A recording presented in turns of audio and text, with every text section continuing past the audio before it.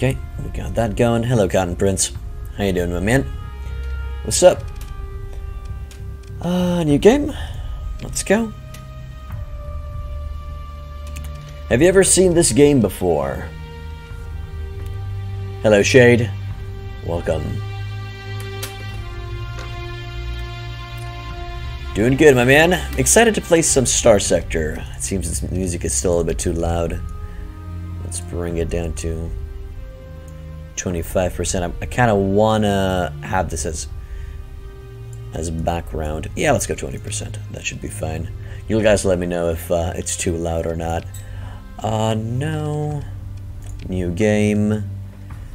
And let's go. Hello, Paintball. Uh, this is Starsector. It is considered to be Mount & Blade in space. Hello, Emil. Yes, I'm currently utilizing Nemo's uh, uh, Nemo's mod list. It was simply a very good balance of not going overboard with mods and also adding a lot of content to the game. Uh, so yeah. The idea is, for those who don't know, uh, Starsector is a video game where you are the captain of a ship slash fleet. Uh, you roam the galaxy in search of work and profit. Uh, usually, you're going to be either joining a faction and help them be super powerful, or you create your own faction. Uh, you've ascended beyond balance and stacked too many mods. Okay, Emil, that is your choice, mate. Also, welcome to the inn.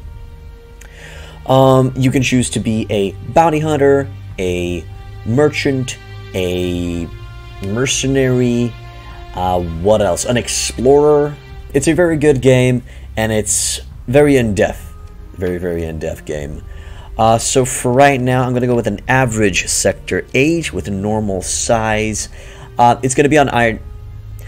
We'll see if we're going to go Iron Man mode. We'll see.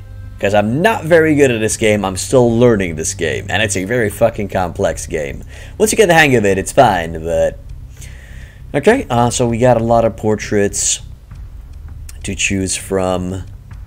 Uh, I also added a mod that adds more, more um, lore-friendly portraits to the mix.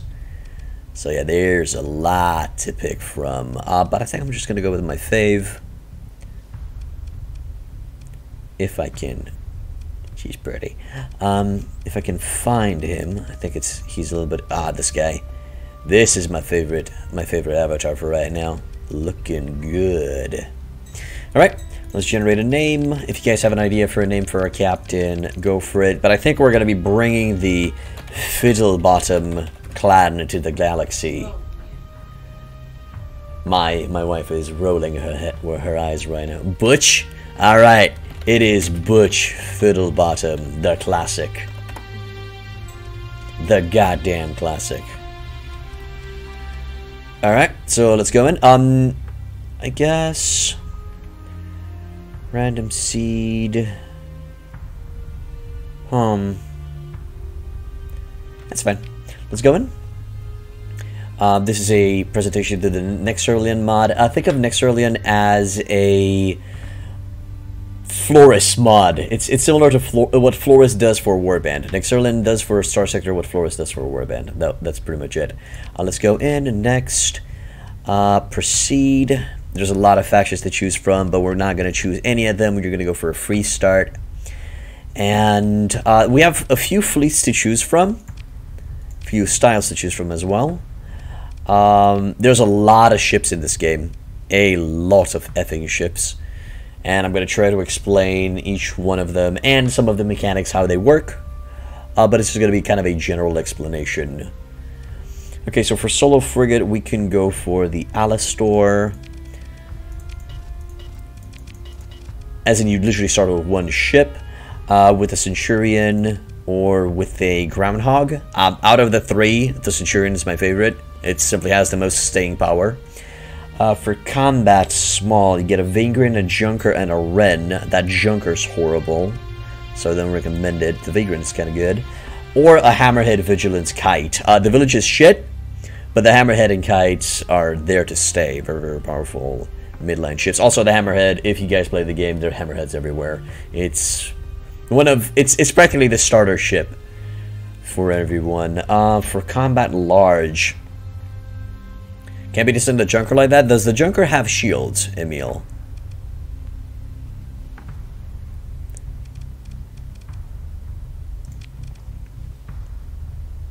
Okay. I rest my case. Uh, Gemini Spectacle Red Arrow. Okay. For a trade fleet. A Mule Cerberus Mercury. I kind of don't like either of the options. But were to choose, I would still go for the Mule, maybe. Uh, trade large, carrier small, carrier large, explorer, explore large, super ship, or you could just start off with the Grand Fleet if you don't want to go for it. Well, I'm not a real man then. That's fine. If if real men don't need shields, that I'm not a real man. Also, you guys don't... I don't think you guys can see the chat. Give me one sec. Let me bring it up. There, this needs to be on the top. Hopefully now it's going to be working. You guys are going to be able to see it. Uh, so yeah, I think we're either going to go with a small combat or a solo frigate. Uh, do, do you guys want me to just start it from the goddamn ground with nothing in my pocket? Want to go with that? Want to just start with a poor son of a bitch? Because I'm down with starting as a poor son of a bitch.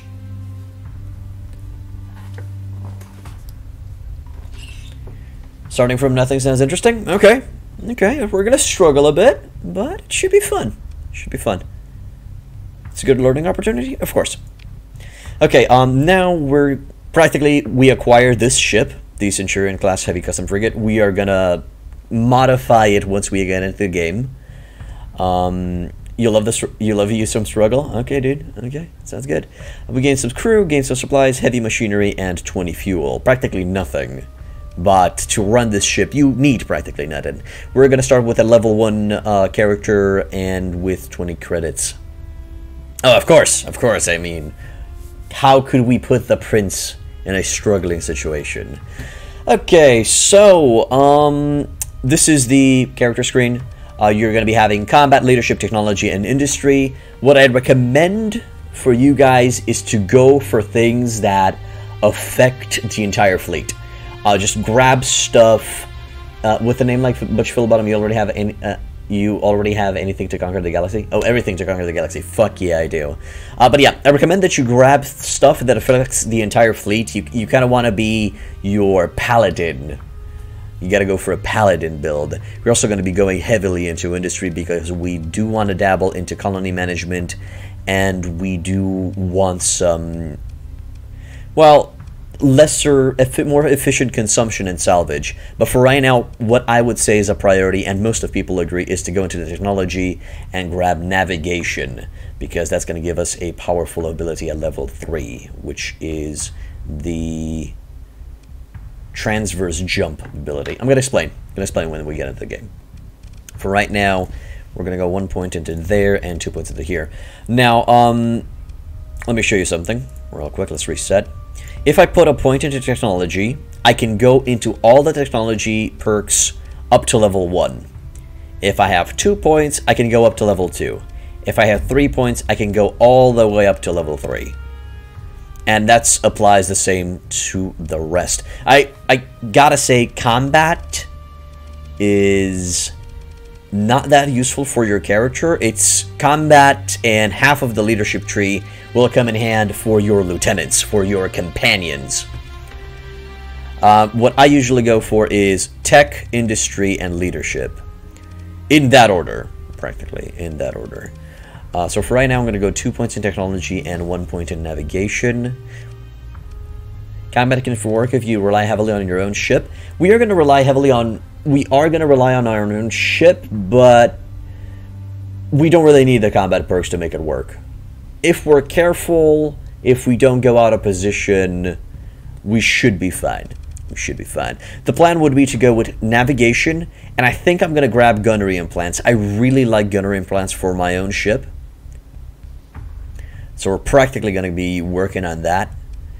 And then uh, at least a point in electronic warfare and all of the points in loadout design, simply because with loadout design you're going to be able to equip more stuff on your ships as you go through the game.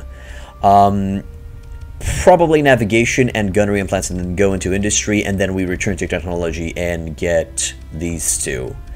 Uh, afterwards, we're just going to go into leadership, probably for fleet logistics, coordinated maneuvers. Um, probably going to start in the late game. I'm going to be getting officer management, and let's see which one is it. Was it fighter doctrine? I think.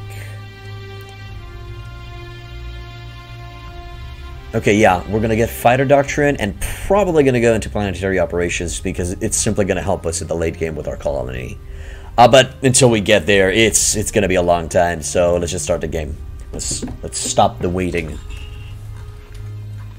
So, currently, uh, it's a randomly generated universe. There are core worlds that always spawn in the same location, uh, but the systems that are unexplored will be randomly generated. There are quests, there are faction-related quests, there are randomly generated quests, bounties, procurement contracts, transport contracts, a lot of stuff. I know that Nex can randomize the cores too. I don't want to randomize the cores, to be honest. I kind of like them slightly on the tighter, compact side. There we go. So we're in the game. We're in the game. On the left side, you're going to be practically seeing the reports. Uh, currently, there's a system bounty in Canis. I'm practically going to have to explain all of this stuff. Let's try to go from the macro to the micro. Yeah, let's go with that. So, this is the universe. Each universe, the in the universe, there are constellations. These. Each constellation contains star systems. Each star system contains multiple planets that can that can either be colonized or have space stations around them. That would be the idea.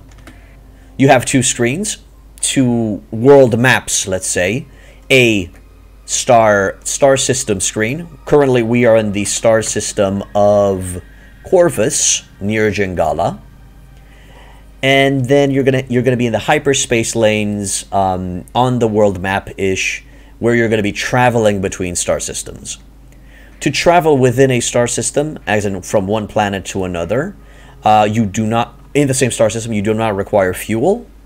This is your fuel over here, um, which is going to increase based on the amount of ships that you're going to have. And when you're in, in the hyperspace, when you're traveling between star systems, that's when you're going to be consuming fuel. You're also going to be having a few abilities, but we're going to be reading through them as well um, a little bit later. You're going to be finding all types of star systems. Uh, usually you're going to have to find bounties in unexplored star systems. So you're going to have to re be reading on them. But it's pretty cool. In a star system, you will most likely find planets that can be colonized or uncolonized. These colonized planets can either be military or civilian. Practically, if they're civilian, they're going to have more goods, but less weapons. If they're military, they're going to have more weapons and less goods. Uh, besides that, let's see, you're also going to be having stations. Uh, stations uh, act as planets, and they represent different factions of the world. In a system, there can be multiple factions, multiple planets, and multiple stations with of different factions. And you're also going to be finding random doodads a lot that provide extra bonuses for the factions who have control of them. For example, this makeshift sensor array practically provides all ships with increased line of sight, which plays a very important role within the game. Okay, uh, that is pretty much it. Um, let's just start going into the micro now. We're going to go in Jangala and check out what's going on. So when you're in the when you're in a city or in a station in this case, uh, you're going to be able to do the same kind of the same stuff that you can do in Mount & Blade. Uh, you can go to the comms directory, which is practically the um, Lord's Hall. Uh, currently, we don't really care to talk with these guys. We can go to the tavern, uh, which can provide us with different types. Of course, you have your flavor text, but I'm not really going to go through the flavor text unless it's something interesting, unless it's a unique quest. I'm going to be reading each quest, which I'll do for the first time once, and then uh, we're never going to be reading them again. Yeah, no, it's sad, but what you going to do? You can reappear your ships at the dockyard, which I'm going to be explaining a little bit later. Uh, you can trade, hire crew, a lot of stuff, which I'm going to be explaining a little bit later. Uh, you can consider your military options. You can engage with a station in battle. You can launch a raid, which, to be honest, I haven't really explored these options yet. I haven't really reached that late in the game. And they have some special functions, um, like inviting the hegemony to for form an alliance, which is going to come in handy when you're going to be re representing a faction or have your own faction. Um, you can also check faction directory, which is going to give you information on different factions. You can request a fleet, which I think is a cheat or console command. I'm not exactly sure. I never used that. Probably going to use it at some point. And you can also take temporary control of autonomous co colonies. Again, kind of a console command in case something goes bad and you want to fix it. That would be the idea. You're also going to be getting prisoners, which you can sell at a you hire a fleet to attack something?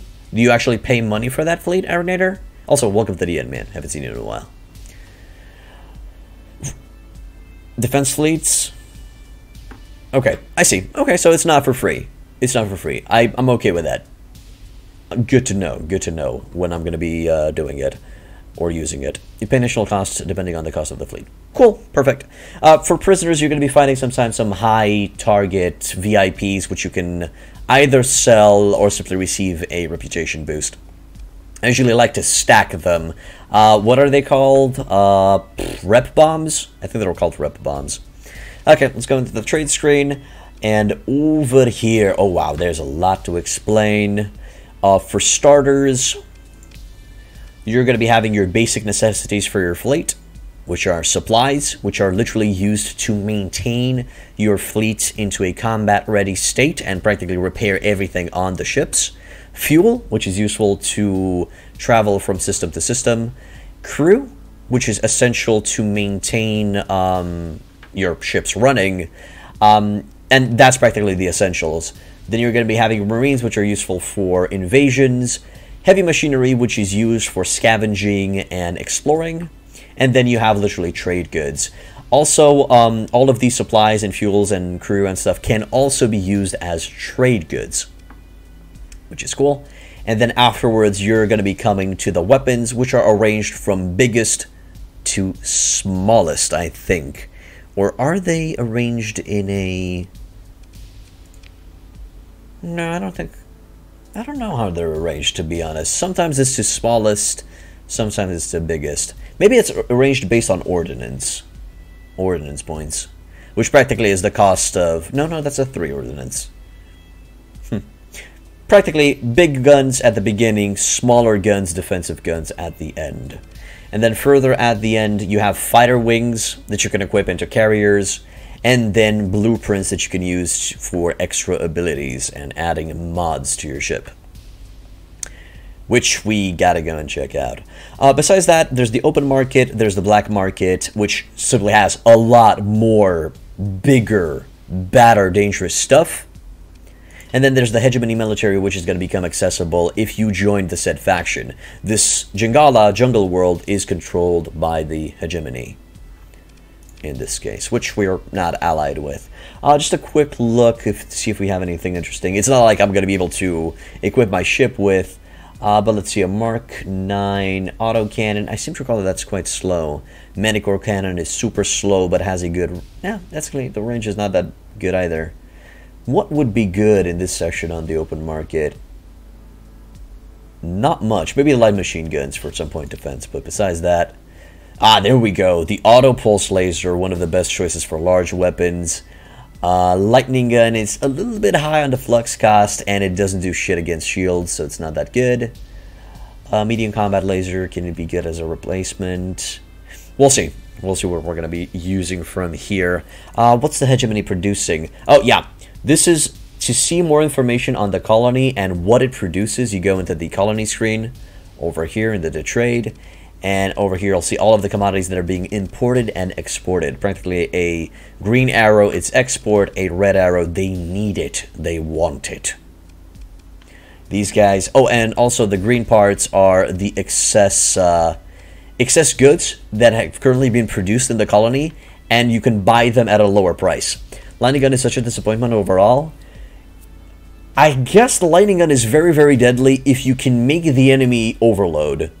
It, I guess it's a good finisher weapon, but I wouldn't put it on auto fire, which we're going to be discussing later. Also, we're going to talk a lot more about the screen once we create our own fact, uh, once we create our own faction with our own colony. So, uh, let's just take these tabs to the bottom left. It's kind of a mini tutorial episode, just to get you guys familiar with what's going on for those who have no idea of Starsector. Uh, in the character screen, we kind of talked a little bit over it. Uh, you're going to be gaining experience from everything scavenging, discovering shit, uh, gaining a profit from trading, killing stuff, bounties.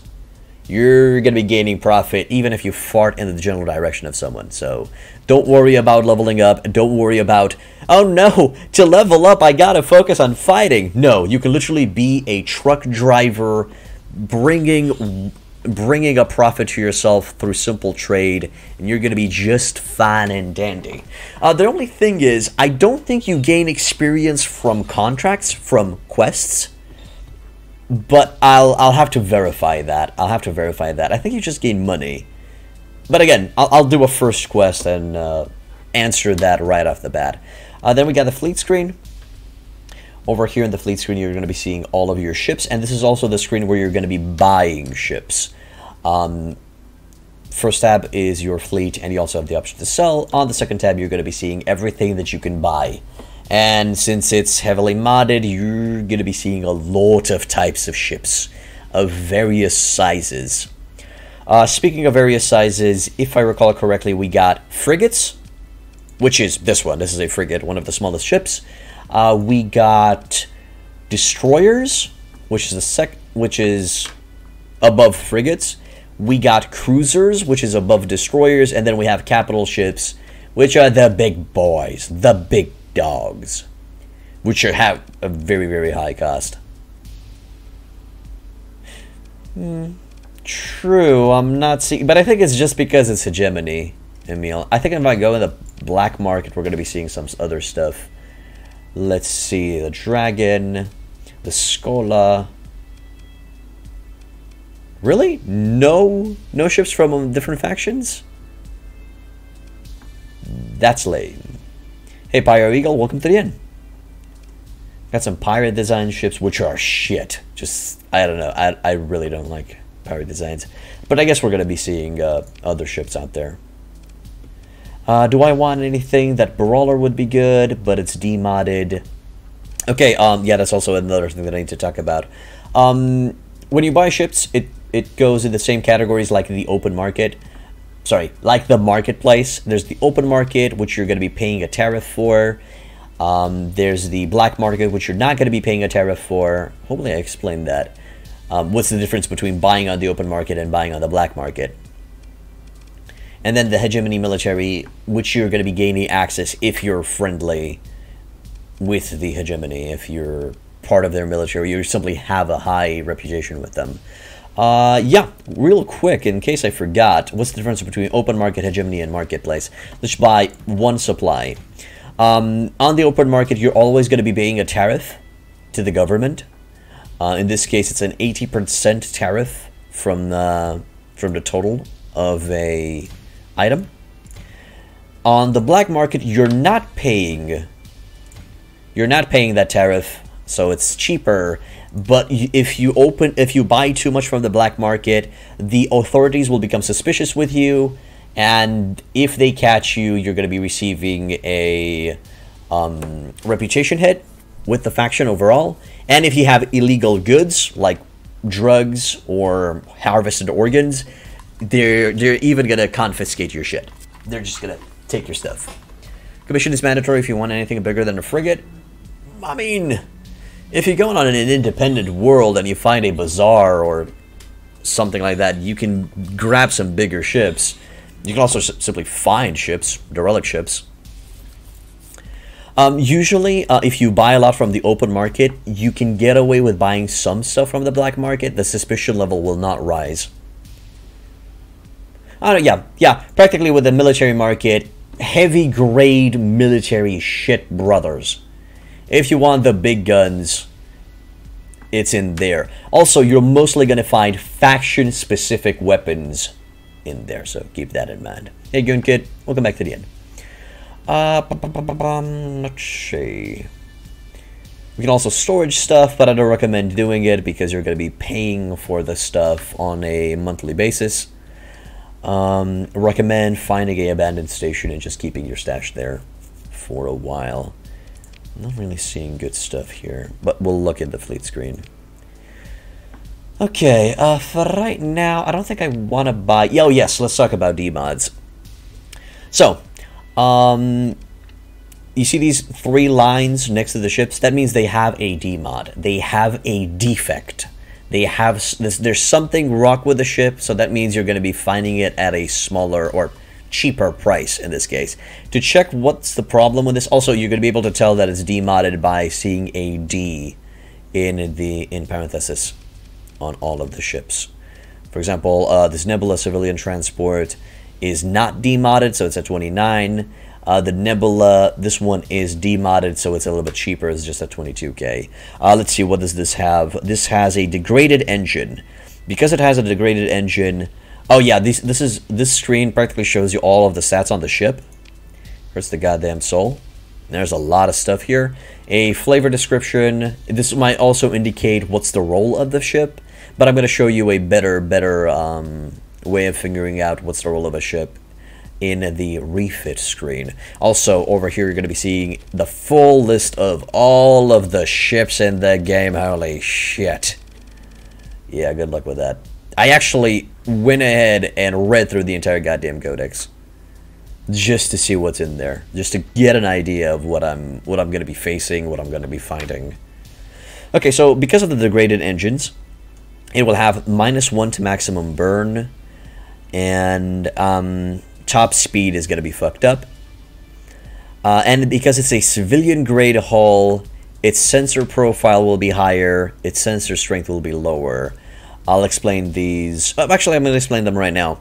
Uh, sensor profile is how far um, you'll be sighted by other ships. So the higher the sensor profile, um, the farther you'll be seen by others. Which is not a good thing if you want to sneak in a system and smuggle some shit. Or simply sneak by pirates.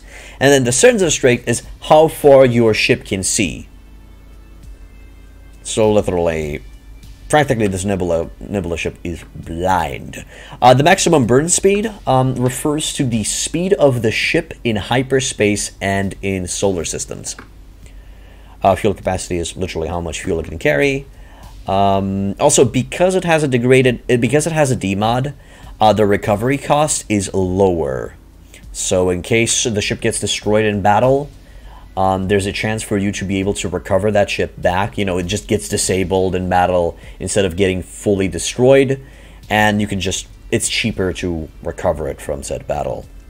Sometimes it's going to be useful. Sometimes you're going to be finding D-mods that simply don't affect your ship. You don't really care of that aspect. For example, um, a ship that has two big guns and has a D-mod for defective point defense weapons, which are small, which only affects usually small weapons. If you have two big guns, you're mostly going to want to have the big ones. It also applies to combat uh, combat readiness, which I'm going to be explaining in a sec. Uh, okay, cool. I didn't know that. That's awesome. That's awesome. Uh, top speed refers to in battle speed, which most of the times is important. Nebula the Nebula class custom civilian transport, though, is not a combat ship. You'll mostly use this. You're going to be mostly putting defensive weapons on it and just use it as a support ship, which are again the different types of ships that we're going to be discussing about. Okay, uh, yeah, let's check that Brawler. So this Brawler has impaired life support systems, which decreases the amount of crew that you can have on the ship. Um, so practically, you can never. If you just have this ship, you, you'll never be able to fully man it properly. Faulty power grid, which uh, is costly on the flux system, and performance singularities. That means it cannot stay in combat for too long. Which is, again, is pretty shit. I'm not going to be buying that ship. Thank you very much. Uh, what do we got here? A Brawler MK2 fighter tender. I think that's the pirate version. Yeah, design type pirates. Uh, there are multiple. Uh, there are multiple ships of the same type, like a brawler, but they've been designed by different factions, and each faction has added its own flavor or its own insanity to the mix. This is a pirate design, and it gives up on its medium ballistic slots uh, for a fighter bay. Why the fuck would you do that? I have no idea. It sounds horrible. I could grab the Vigilance Frigate, but I feel like they're very weak.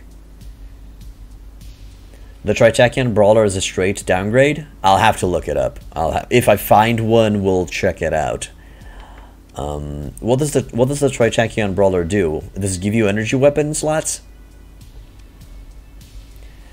Okay, um, I could buy a Vigilance, but I don't like the fact that it doesn't have small small weapon slots for defense. I feel like vigilances are slow and vulnerable most of the times. Uh, let's see, a scrapper, no. I'm, I'm going to be looking for shepherds, to be honest. Really like the shepherds. Trace ballistics for energies, but gains no flux stats. Oh, god damn, that's bad. That's very bad. Speaking of flux stats, let's go and uh, go to the refit screen. So over here in this screen, you're going to be modifying your ships. All of your ships uh, from scratch. You're going to be receiving a... Sometimes you're going to be receiving some inbuilt weapons or present weapons when you buy them or when you find the ship. Uh, but if you buy them from the shop, the weapons will be stripped like so. You're going to be having to add all of them manually. Now, Whew, this is going to be a big subject. What do you need to think about when you equip a ship? Oh my god, I'm my face is covering the the ship stats. God damn it. There's a lot of going on. There's a lot going on in the... What's a good place to put my face in? Let's try here. Yeah, this should be fun. Hopefully. We'll see. We'll see, we'll see, we'll see. As we go through the game. Hopefully I'm not going to be covering any important We'll see. Um, so, what do you need to think about? This is how combat will work. And we can also test up our designs to show you combat as well. Uh, testing is, simulations are practically for free. You can test a ship as much as you like. I spend fucking hours inside simulations just to get the best bang for my buck. Okay, so, um, let's strip it first of all, just to explain what's going on. So, each ship has ordnance points. Based on its ordnance points, that's the amount of shit that you can equip on a ship. Amount of stuff that you could equip. Everything that you put on a ship is costs ordnance. There are very few exceptions like inbuilt weapons or inbuilt fighter wings. For example, I think the Shepherd drone carrier has an inbuilt mining wing uh, that's free of cost. It's in there, uh, but I don't think you can replace it either. Well, I'll have to check that. I'll really have to check that, but I think it's inbuilt and I don't think you can replace it. Uh, you're going to be seeing your top speed here, your armor, your hull, and your flux capacity. Okay, now, um, this is how you fight. This is how you destroy a ship in the game. You first need to go through its shields, then you got to go through its armor. Once you go through its armor, you reach the hull. Once you destroy the hull, the ship gets destroyed. That would be the idea. It's going to be easier shown if I show you in battle. I'm just going to run a simulation real quick. I'm going to be adding a live targeting dummy. Okay, let's see. Uh, Swarmer missile that cannot stay on auto fire. That can stay on auto fire. Let's go. I'm probably going to lose this battle because I'm fighting against a Lasher. But this would be the idea. I just want that ship to come in range. And there we go. Now I'm going to be explaining to you guys a little bit on the um, combat screen. So practically, we're in fucking space. Um, this is our ship. That's the enemy ship. Currently, we have it targeted. You can target a ship by pressing the R key. I like it targeted. Um, also, if you target a ship, your weapons will tend to prioritize attacking that ship, especially missiles, if they're on auto fire, or simply if you aim a auto guiding missile, it will go towards your target. Keep that in mind. A combat radar over here. Um, a lot of information. There's, it's it's it's a very intimidating game.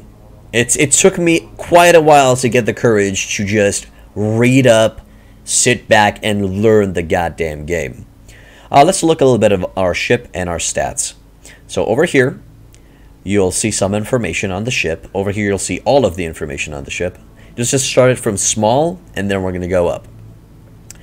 The hull is your um, health. That's the health of the whole ship. Surrounding your hull, we have armor. Over here, you're going to be able to see the distribution of all the armor. As your armor goes down, this will be grayed out.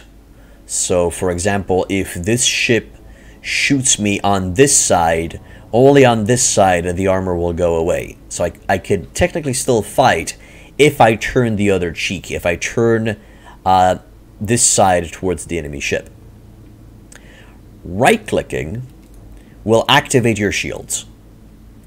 Um, some ships have shields, uh, some ships don't. The ships that don't have shields usually have more armor. I recommend it against using armored ships, uh, but some of them work. I just don't like them because they suck, but some of them work. Okay, above the hull, uh, you have your flux. Your flux is used to shoot your guns and to maintain your shield a shield will passively produce flux. Ballistics will use flux. Energy weapons, you will use a lot of flux. Most of them. Again, it will be it will depend on a gun-to-gun -gun basis, on a weapon-to-weapon -weapon basis. Uh, missiles don't usually use flux, only when you fire them. Some of them don't use flux at all, which is awesome, which is cool. Um, if you max out your flux bar, your gonna ship is your ship is gonna overload. If it overloads, all of your weapon systems will deactivate, but you can still steer the ship. You can still use the engines. Okay, um, if you're going up into flux, usually it's a good idea to stop your shield right before you hit flux capacity, flux limit, and even stop your weapons or just keep your weapons firing, your weapons will never shoot when they know that they're going to go over flux. That's a thing. That's unless unless you shoot it manually. For example, if I decide to take those assault guns and keep on firing like a schnitzel puff, I will overload. But if the AI shoots it, you know, if it's set on auto fire mode, um, then the AI will never overload your ship. They will they will always maintain at the max maximum amount of flux. Um, now, there are two ways to get rid of flux. Literally not be... No, actually, three ways. Sorry about that. Uh, passively venting, which you do at all times. When you don't have your shields activated and when you're not shooting, you passively vent flux. Um, when you manually vent, which is the V key, does this game have a RTS and grand strategy? Yes, it does. Yes, it does but it's not turn-based. You can always pause the battle whenever you want. You can stay in pause mode to think about it as much as you want. Um, but I'm going to talk about this panel in a sec. You literally access that panel by pressing tab.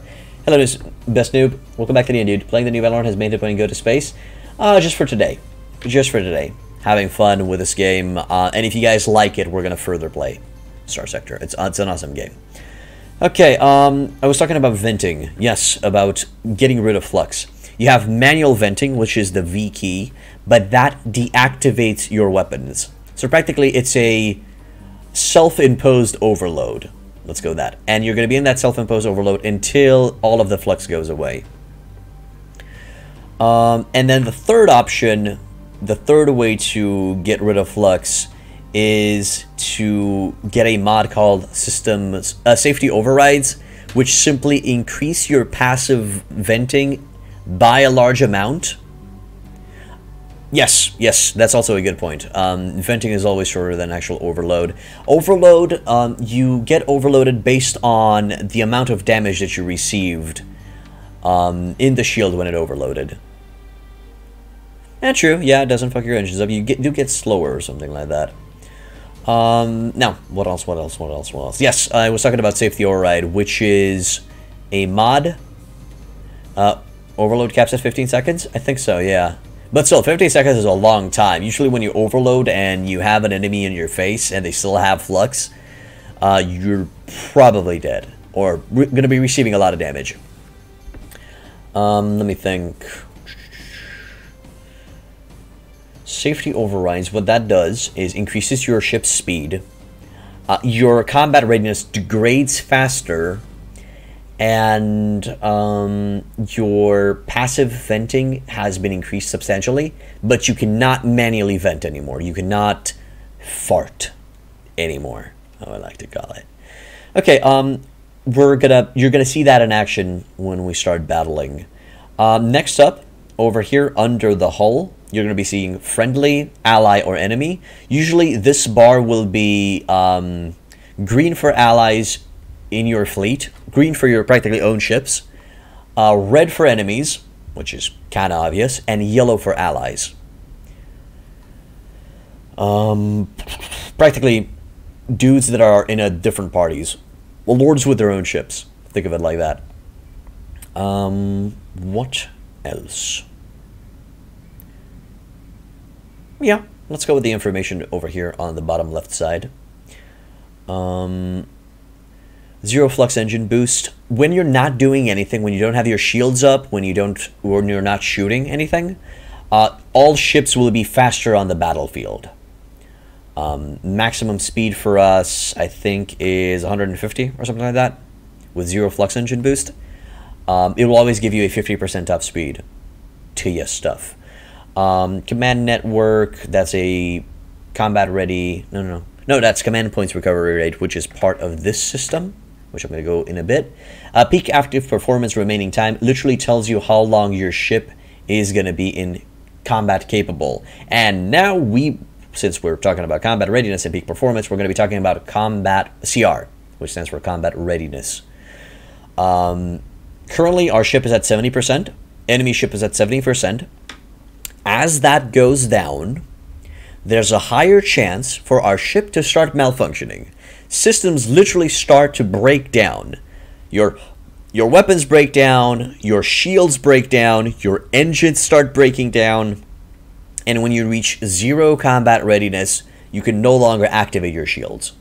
Literally, you can no longer activate your shields, and there's a very, very high chance of uh, your ship being a sitting duck. No, actually, no. There's a 100% chance of your ship being destroyed if it's in combat range when you have 0% um, I think I think at around 25%, that's a red flag, and you need to get your ship out of there. One of the main things that you do in this game is keep an eye on all ships' fighting uh, ability, and then retreating them when their when their combat readiness and fighting ability is down to down to shitter.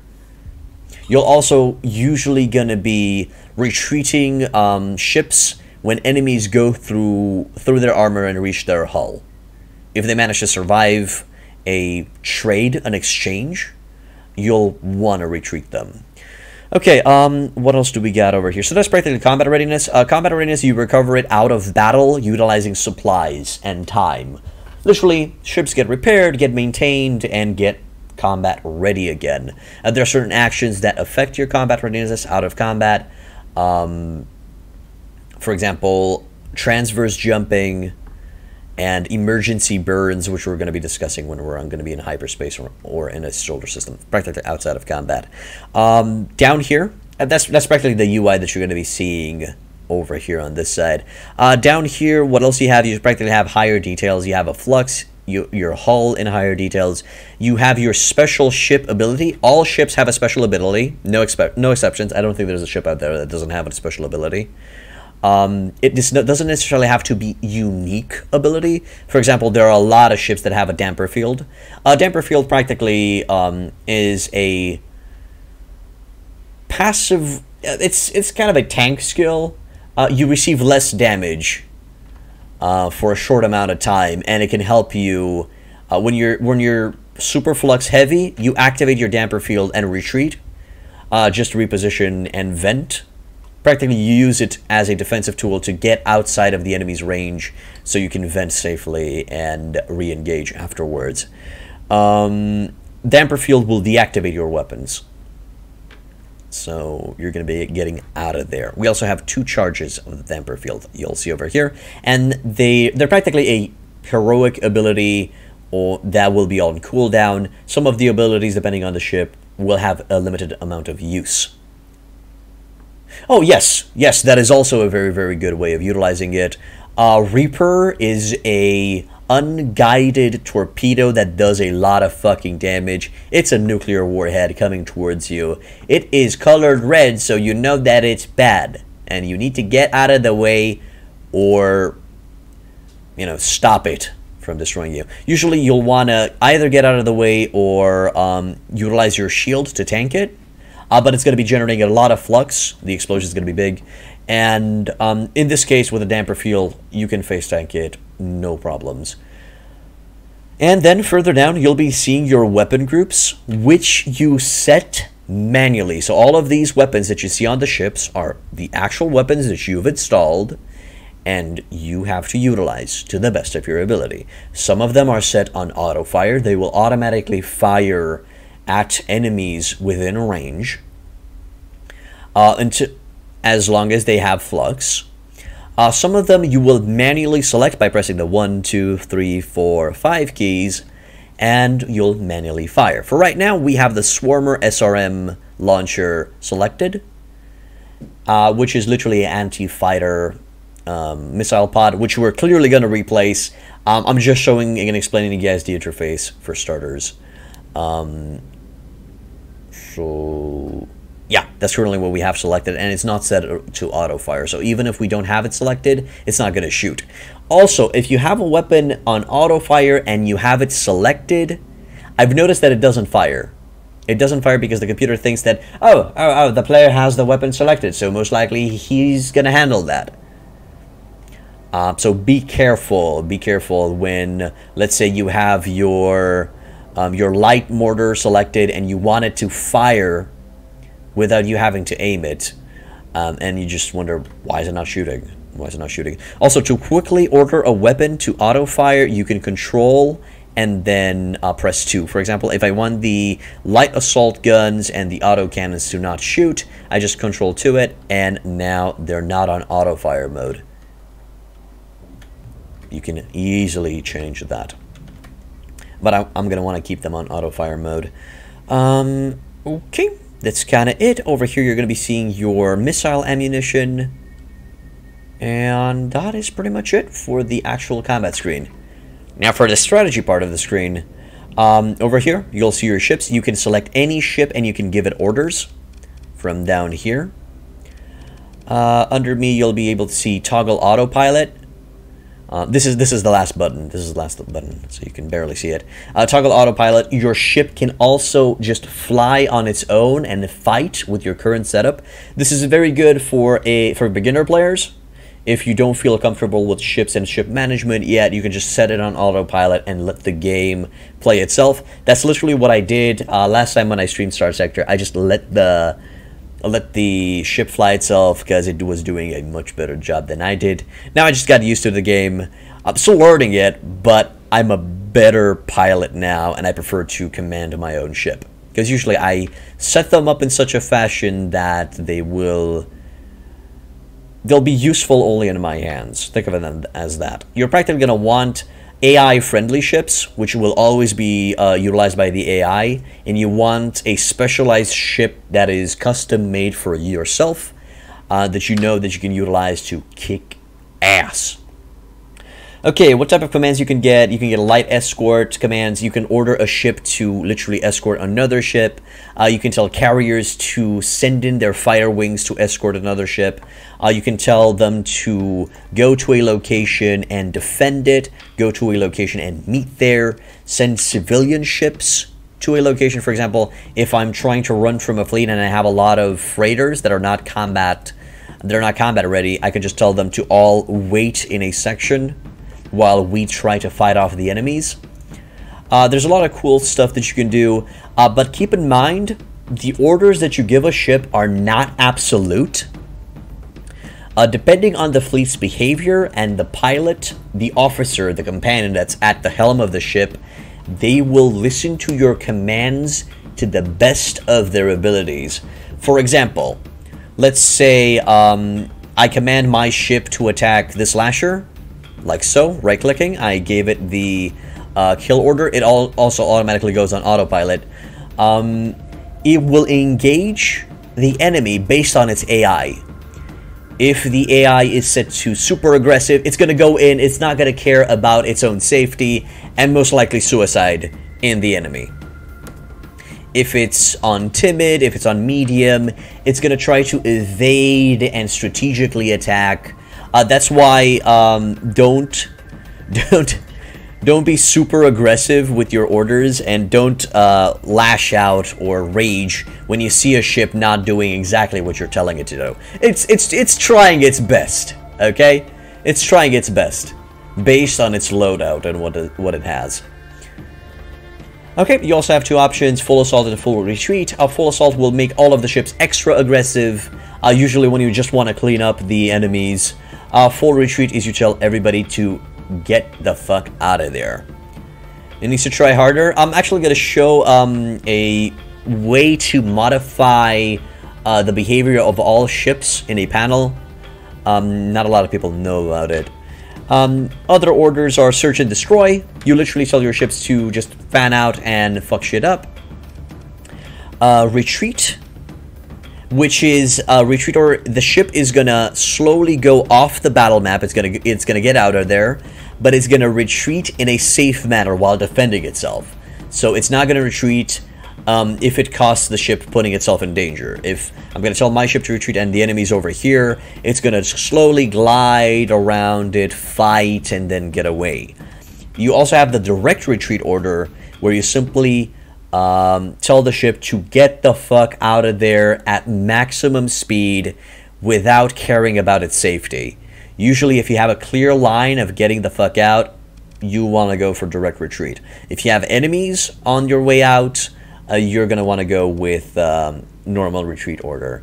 Also, your ships, if you're in, um, if you're the aggressor, if you're engaging the enemy on equal grounds, your ships will always retreat on the bottom side of the battlefield. If you are trying to disengage from a fleet and you are running away from them, uh, your objective will be to reach the top of the map and you'll need to run over here to the top while you're being chased by the enemy fleet from down here and from the sides, depending on the ship, ship size. Usually destroyer size and above will always come from the bottom side. Uh, frigates, which are the smallest ships, will come from the sides, or can be deployed from the sides. You also do not have to deploy all of your ships. You can um, wait for the enemy to be in a weakened state and then send in reinforcements. Uh, this is this all comes in play with the amount of fleet that you have, the amount of combat readiness that your ships have. For example, if I have ships that are on combat readiness 50%, I'm not going to send them directly at the beginning of the battle. I'm going to let the enemy uh, wear itself out. Um, because the enemy also has combat readiness. It will also slowly, slowly go down as the, the battle progresses. And speaking of that, yes, combat readiness does go down as the combat combat progresses. Uh, the more you stay in the battlefield, the lesser combat readiness you're going to have. High-tech ships will lose combat readiness faster. Low-tech ships lose combat readiness slower. Um, but I think you can get the idea. Usually, high-tech ships are faster, hit harder, um, have a po more powerful alpha strike uh, while low-tech ships are more for sustained fighting, slugging it out. Midline ships are a balance, a compromise of the two. Okay, uh, let's talk about the UI that's on the enemy ships. Uh, real quick, uh, you're going to be able to see its weapon loadout, its flux and hull, its health. Um, you're going to be seeing its range and speed and you're also going to be seeing the type of ship, the name, and what's its loadout. In this case, it's a close support variant. Also, uh, the first part, Sim Patrisk, that's the name of the dude that's currently flying that vessel. Loss of speed is the same, it's just the high-tech have less uh, points in general. I see. Okay, practically what I've noticed is that high-tech ships are high risk, high reward, and usually players tend to prefer high-tech ships because you can get some insane insert phase ability here. Uh, abilities. Okay, uh, what else can I talk? Um, deployment points. I think you have a maximum amount of deployment points, um, so you can not have, you know, as many ships as you want. Um, I think it's a 500 versus, I think it's set to the maximum, in my case, the 500. Can go above above that, so that's practically 500 ships on the battlefield at the same time. It can get fucking insane. Also, I need to talk about command points. So you cannot give uh, your ships commands as much as possible. Uh, you you're limited by your command points, but you usually don't want to give your ships uh, a lot of orders. At the beginning of the battle, I'll usually just form groups, like tell some heavy hitters to stay close to... No, tell some small um, defensive ships to stay close to carriers, which have a lower defense, to protect them, stuff like that. Uh, set up wolf packs, tell frigates to stick with frigates, tell the faster ships to stick with faster ships, uh, stuff like that, stuff like that. You, we'll get the hang of it as we go through the game. And oh my god, are we done? Are we finally done? Can we finally get a little bit on uh, battle and ship customization? I guess clean, clean disengage. If you get to 100%, you can clean disengage out of the battle, you can retreat, and the enemy fleet will not be able to follow you. Okay, just to show you guys how the battle is looking. Play the game is overrated. Mm -hmm. Let's gain control of the ship. Good, autopilot disabled. Let me just get my bearings. I get the swarmers. Uh, as you can see, the ship has its shield activated. We're going to get in closer. And start firing. Okay, get out of there. That's venting.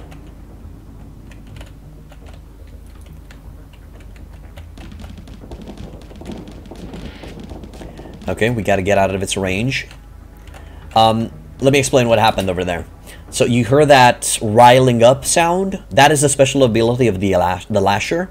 It has a ammo feeder that practically increases its fire rate. When you hear that sound, you want to get away from it because it's going to be shooting a lot, lot faster.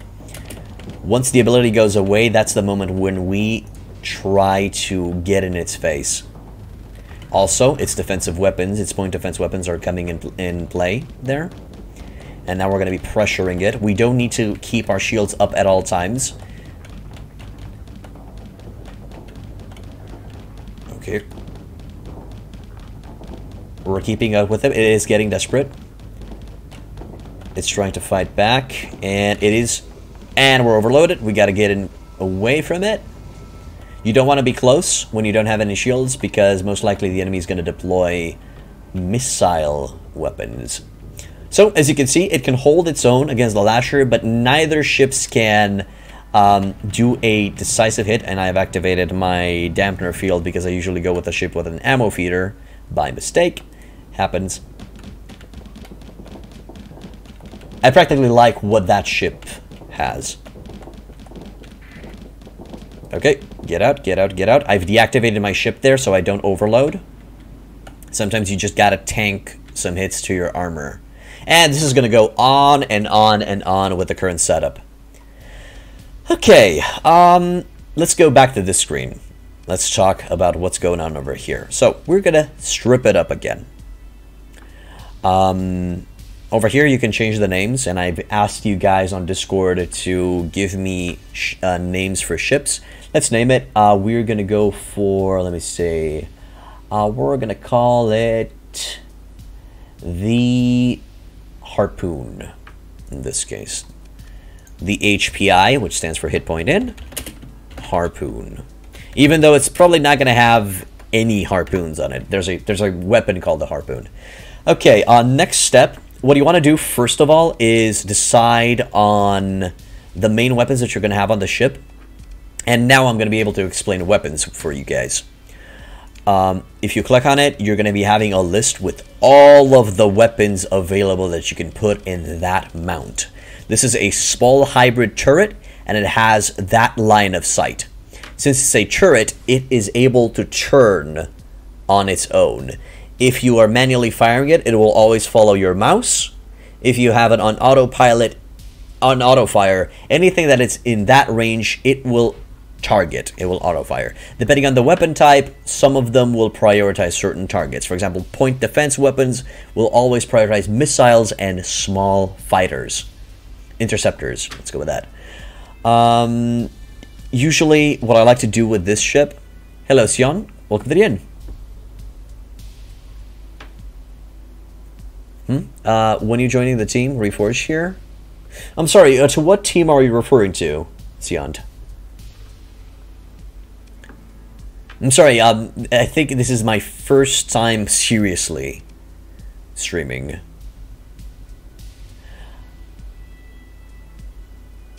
Reach. Oh, sorry, mate. Not gonna be participating in the meeting. Not gonna be participating in the meetup. Get a stream. Okay, so, um, let's explain weapons a little bit. Uh, usually there are three general types of weapons. Anti-shield, which excel at taking down enemy shields. Anti-armor, which is useful at taking down the armor under the shield. Um, usually anti-armor is also useful against uh, destroying hull. There are also dedicated weapons to destroy hull, uh, but I don't really find them super useful. And then there are suppression weapons, uh, which are useful to either keep a ship with its shield up, you know, keep it on its toes. Thanks, Junt. Um, either uh, take out it, some of its systems, like its um, like its weapons or its engines. For example, I fucking love salamander rockets. Uh, they char- they're guided missiles that target the engines of the enemy, and they just take them out and they just flay them out and just fly to space without any goddamn control. To the whim of velocity. Okay, um, this is this for example is an ion cannon. Um, it is a suppression weapon and it is meant to take out the enemy's uh, weapon systems. Also, um, my God, there's so much to discuss. Um, over here, you're going to be seeing black weapons, red weapons, and yellow weapons. This is this is going to practically tell you the source of the weapon. The black weapons are in your inventory. The red weapons are from the black market, and the yellow weapons are from the open market. It actually literally says that over there under it. Uh, what else you're going to be able to see here? Uh, besides its role, which I really recommend that you check out, you can also fully test this weapons out by simply running a simulator. Um, you'll be interested in its range. If you want a super melee brawler type ship, you're not going to be giving it super long range weapons. Um, if you want to make a sniper ship, you're most likely going to be focusing on weapons with longer, longer range. Makes sense, right? Um, are there any railguns here? Sadly not. Okay, that's going to be shitty. Um, another type of weapon is point defense. This is literally used for defending a ship. In rare cases, you're going to be using this as a offensive weapon. Uh, there's a safety override brawler build that simply you put as many, many high damage point defense weapons on your ship and just get into the enemy's face and shred them down. Uh, but we're probably not going to go for one of those on this ship. Okay, let's see. What do we got? Also, the color around um, around a weapon uh, shows you its weapon type. Uh, blue stands for energy weapons. Uh, yellow stands for ballistic weapons, and green stands for missiles, which are there are no missiles here. And then over here, the numbers on the right uh, simply shows you the cost of equipping the weapon. For example, this ion cannon cost me 6 ordnance points. If I have this filled out, filled out, I can't put anything more on the ship. Okay, so in the front, I'd like to add a anti some anti-shield weapons, like an autocannon. The Okay, we're actually going to go for the light dual autocannon. It's an autocannon, but it has double the damage and bigger flux. I think it's more flux efficient than a light autocannon. Flux 100, uh, dual auto. Yeah, yeah, yeah. It's good. It's good. It's good. So practically, this is going to be our main gun. that's going to take out the enemy's shields. Then um, we'll want some anti-armor. I'm going to go for a light assault gun. And you can either go for another light assault gun or go for the ion cannon. I think I'm going to go for the ion cannon just to offer some suppression against the enemy. Um, practically, the ion cannon is useless against, useless against shields, but if you hit the enemy on the hull, on the armor, it's going to start arcing and causing um, disruptions in its systems, take take down its weapons, take down its engines. It's going to cause massive chaos on the enemy ship, and sometimes it can fully disable a ship, which is awesome. Uh, so yeah, I'm going to go in for that suppression, a little bit of support utility weapon. And then do you guys, let's see, Swarmers are meh, uh, Swifters are a meh.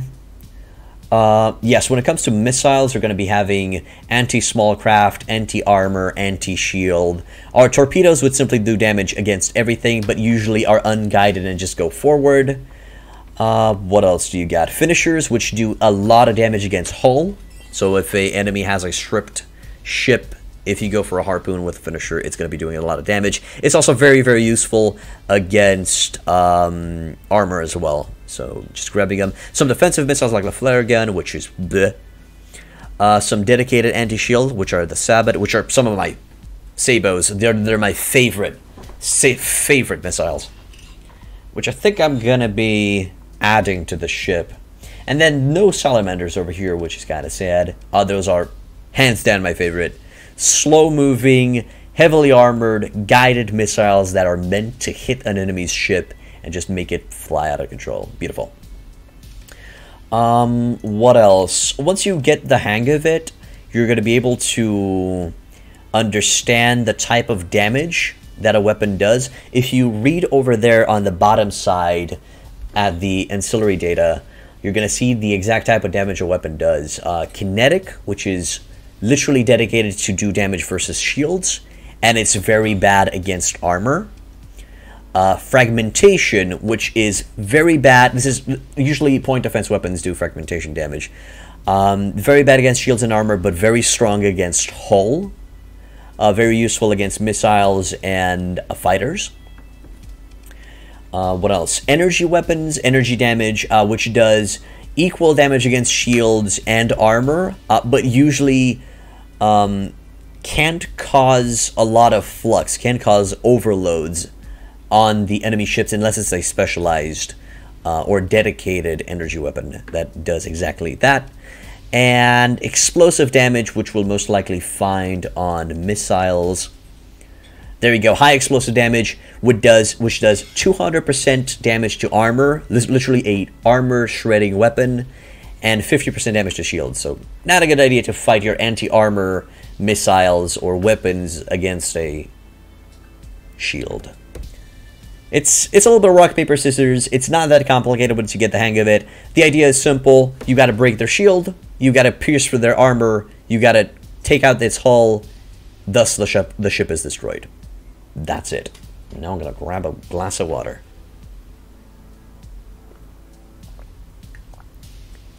And you you gotta be careful.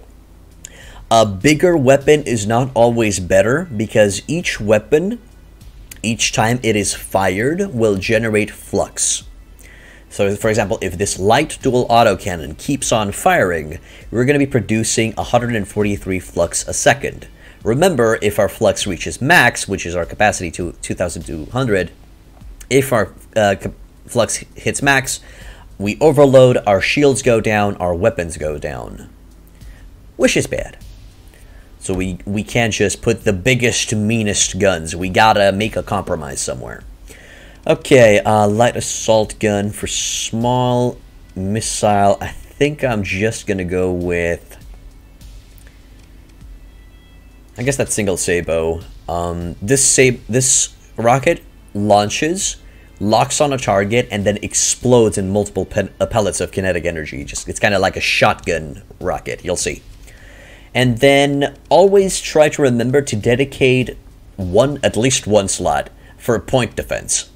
If a if a missile follows you, if a fighter follows you, these are very fast weapons that you cannot easily shoot down manually, so you'll want a dedicated weapon to take them to take them down for you. In this case, The Vulcan cannon is fine, but later on we're going to be finding better stuff.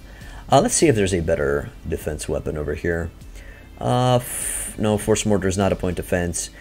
Huh, wait a sec. The Force Mortar, this is a general weapon. A general weapon will do equal damage to both shields and armor. Usually a general weapon is an all-purpose weapon. You you'll want some of them later in the game. Sometimes you can just equip general purpose weapons on your ship that will do equally equally good against shields and armor at the same time. Uh, let's see, let's see on that. Uh, range is kind of low. What's on? What's uh, the range on the light auto cannon? Uh, light auto cannon is 600, while the force mortar is 550 we could try and play around with it. Maybe just equip the ship full force mortar. We'll see how it goes. We actually need to take into consideration the accuracy of the weapon and the um, projectile speed. Yes, exactly, Emil. I've never seen it in action, so that's why I want to check it out. M mini flak cannon, best against fighters. It can also take missiles, but the fast the faster the missile, uh, it's the mini flak cannon is a slow defense weapon, so uh, it'll usually not keep up with missiles. Uh, in this case, I think I might just go with the light machine guns. Uh, light machine guns have a higher range. Let's see what's the accuracy on it. Good, while the Vulcan has uh, poor accuracy, but the Trinity is excellent. Yeah, let's go with some light machine guns on it. Plus the ordnance points is a little bit low. Also, we're going to rely on defending ourselves against missiles mostly on the shield. Okay, now that we've kind of equipped it with weaponry, you'll want to go to the weapon group section. Over here, you manually select, yes, I know, another high detail panel. You'll manually select uh, what, what and where the weapons are assigned on. You can also press auto and the game will assign it for you. Uh, but for right now, I want all of the weapons to set to auto fire on their own. I don't have to manually aim any of this shit. And I want the Sabot to be on manual control, and I will always stay on the Sabot ready to fire it at the opportune moment. You can also link the weapons. For example, I can link these light dual autocannons and they'll try to fire at the same time. Over here, you'll see their arc coverage. So practically these are frontal, this is on the side, this is on the other side. Uh, these are defensive on the back, and the Sabot is a hard point directly in front. A turret will have a, a larger sight, line of sight. A hard point will usually only uh, shoot in a direction, in a small little cone, and you'll have to manually steer your ship so you can get in, in sight of the enemy. Hopefully it makes sense. And also over here, it's going to tell you the total amount of flux and how much it's going to cost to shoot all the weapons at the same time. Uh, you can also see this over here, weapon flux per second. If all of our weapons are firing, we're generating 543 flux per second, which is insane. That's why we're going to be adding some vents to it. So, vents simply increase our flux dissipation, our passive flux dissipation rate, which is right here. Um, we always vent uh, 275 flux at all times. Um, the more vents we have, the better it is. Hey, Catnick, welcome back to the inn. I'm explaining the basics of Starsector. Yes, indeed, long time no see. It's taking a while.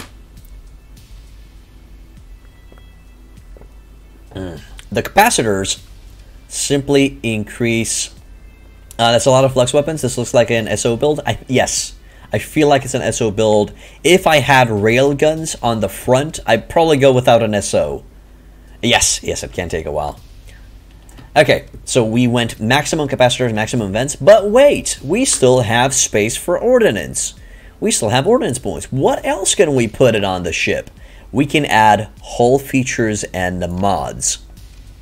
These are special passives that can alter the entirety of how your ship functions.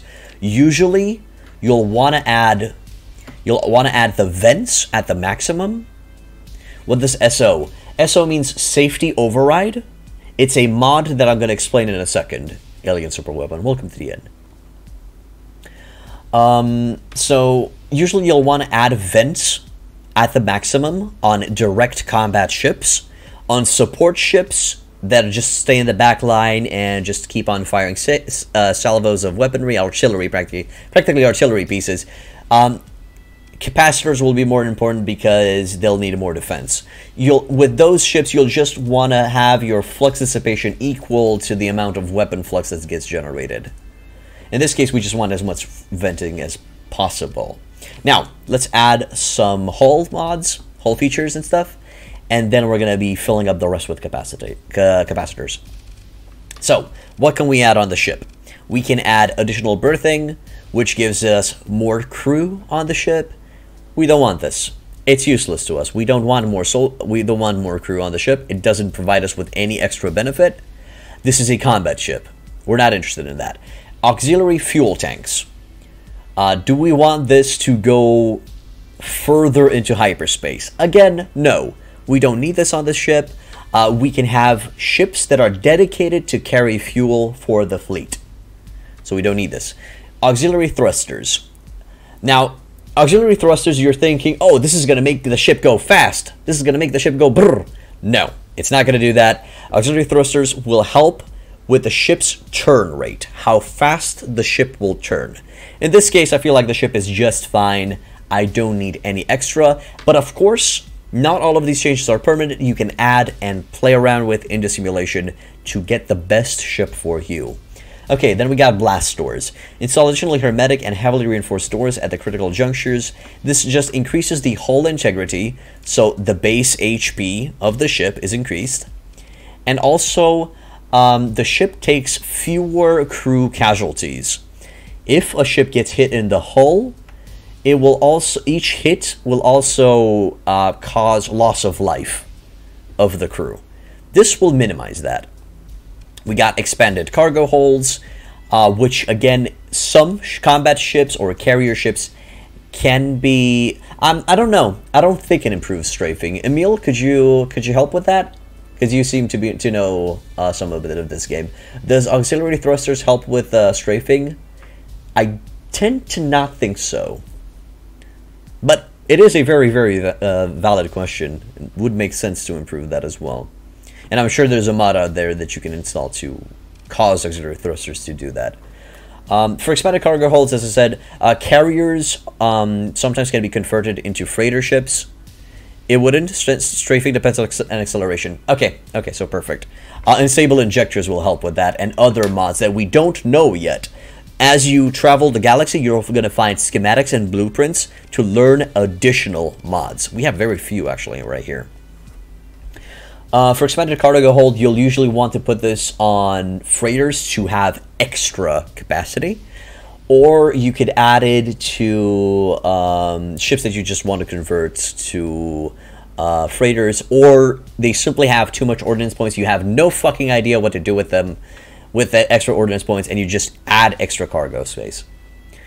Unstable stop speed only, accelerators unaffected. Yes, indeed.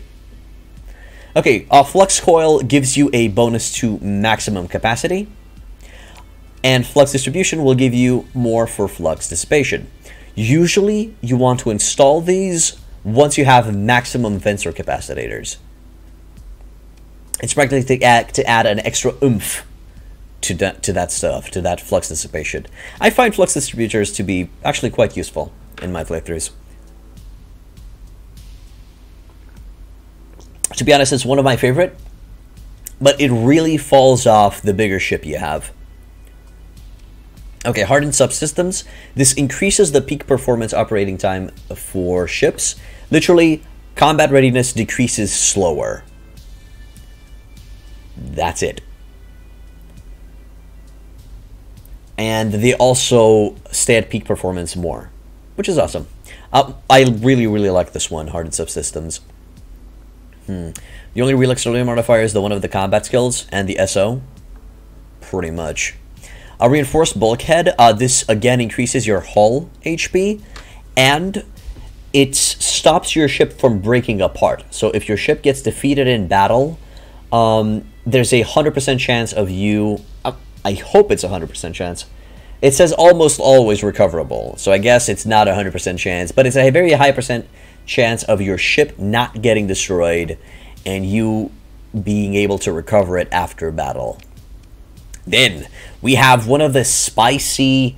I'm not gonna say controversial. Yeah, I know, Emil. I know. That's it's exactly as it says. Uh, one of the spicier mods, the safety overrides. Now, um, a lot of people like to run safety overrides on their own ship. Um, this disables safety protocols and increases the top speed in combat. So simply, your ship goes vroom much faster in combat. But, um, yeah, yeah, it's a lifestyle. It's it's a choice. On some ships, it's essential, but there are very very few ships that that it's essential on. Um, sometimes because you're limited because of the market, sometimes you're not going to have the weapons that you want for your ship. Uh, so you're just going to have to make a compromise, just fit it up with a lot of short range uh, stuff and just put SO on it. Yes, for short, it's called SO. A lot of people call it SO. Um, what else does it do? No, uh, no manual venting. You cannot press V to manually vent flux, but it, it increases the, the passive flux by a large amount. So for example, we are at 275, bam, we're now at 550. With the safety overrides, we can outrun the lasher that we, we fought in the simulation, and we can easily keep on shooting without increasing our flux. A large amount is exactly two times? Oh, really? Awesome. Thank you. I did not know that. It, it says factor by two. Oh, so it's it's a multiplier, but times two. Cool. Cool. So if I go 175, it gives me double the 175. Oh my god, yes it does. So most likely, safety over overrides you'll want with as many vents as possible. Makes sense. But it reduces the peak performance of the ship by a factor of 3. And it reduces the weapon range. So any ship that has over 450 range gets nerfed. It, it brings it down to 450. So you do not want ranged web, um, super sniper weapons on this on this ship if you, if you plan on building safety overrides. Uh, besides that, you gotta be fast. You gotta fight quick, hit hard, get out. Your ship is not to be able to stay in battle for long. Can you put safety overrides and hardened subsystems?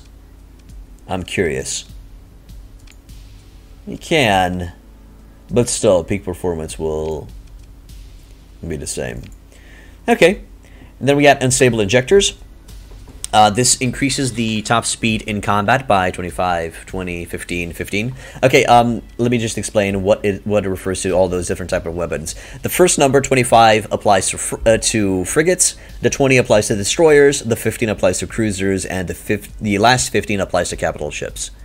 That's how you need to think of it when you install all of these mods. In this case, the same uh, 50 increase for um, um, frigates, 30 for destroyers, and I think 20 for the big boys. Can you install an SO on a capital ship? Yes, no manual venting with SO. You cannot press V to vent.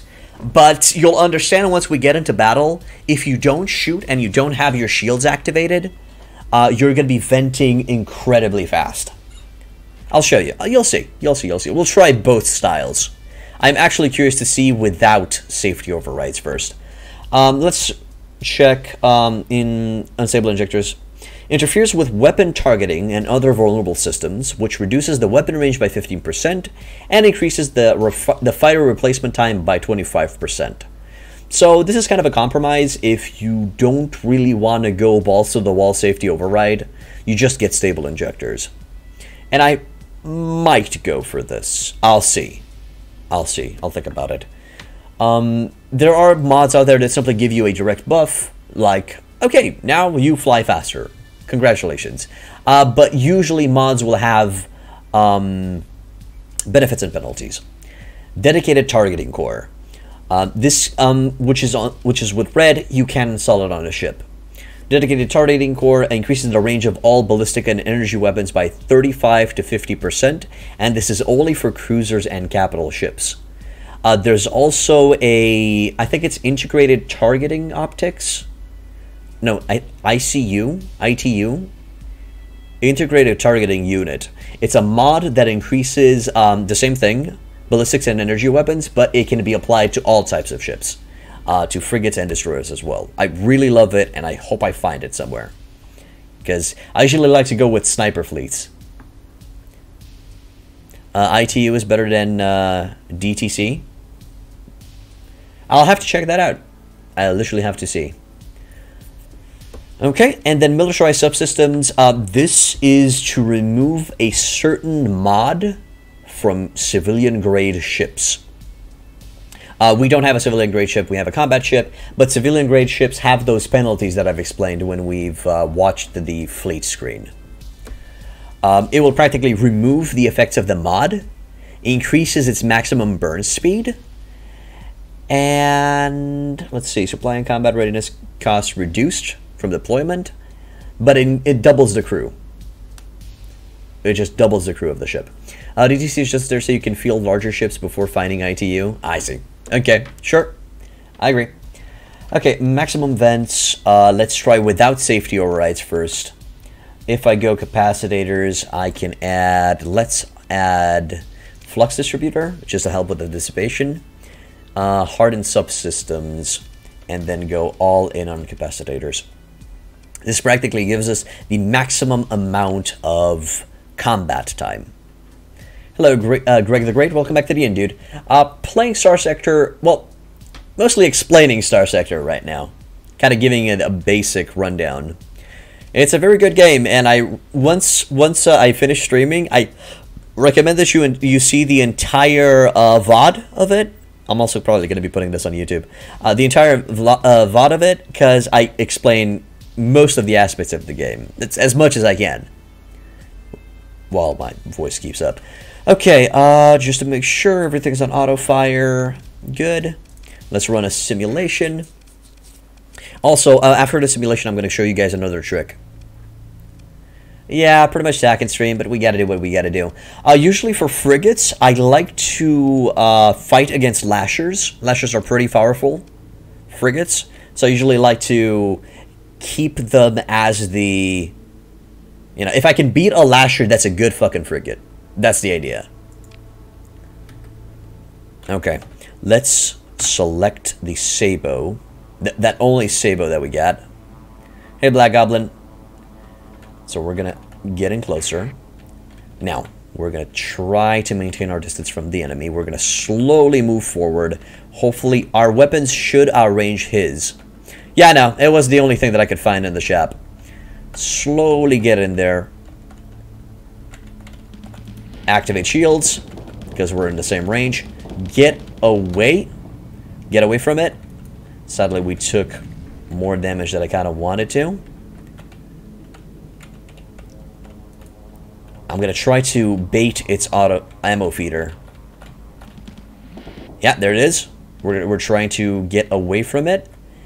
And now we're going to engage. Trying to face the enemy. Launch a Sabot. And we overloaded because I did not activate my shield. And we're getting attacked by anti-armor missiles. Yep. Okay, one of our engines is down. We gotta reposition. It also took a little bit of our hull. Uh, you can use Q and E to strafe. Okay, let's try to go in again.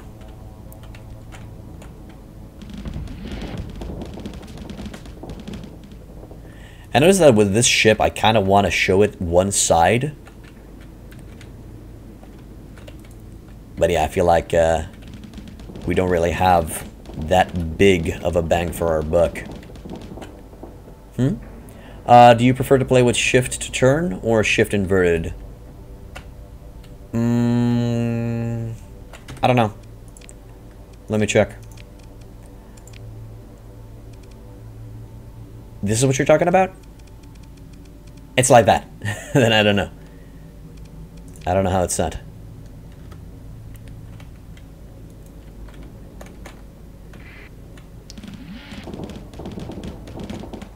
Okay. Vent. Haha! -ha! It didn't shoot at Sabots. It, it at our harpoons. Nah, nah, nah, you're not getting away this time. Come on. Okay. And Ah, the dampener field. On this ship, I always forget about the damper field. Uh, do we have any chance of taking this ship? But I think it ran, ran out of harpoons, so we should be fine now. But we've barely, we're barely doing it. Oh, yeah, no, without the cursor. I don't really like the cursor thing. There we go. That was a good use of that.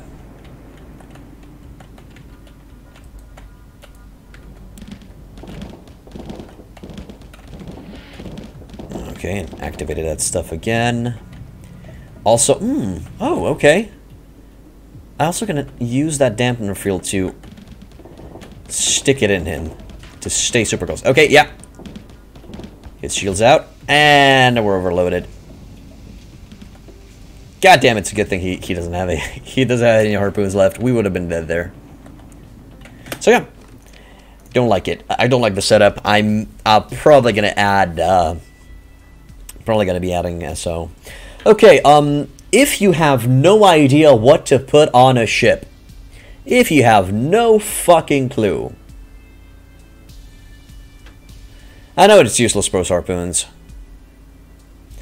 Um, you go click on auto fit and over here you'll receive recommended designs. You can also even set up your own designs if you want to.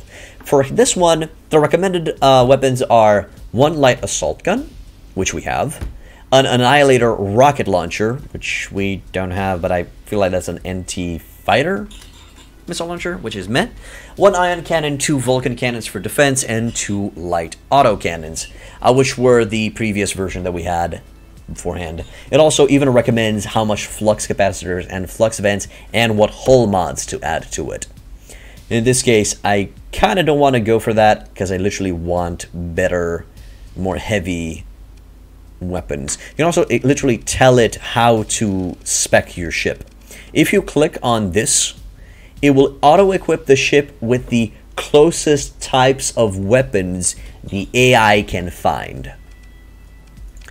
Uh, but we're not going to do that right now. We're going to take off flux distributor, hardened subsystems, take off the capacitors, um, and we're going to add safety overrides and two more capacitors.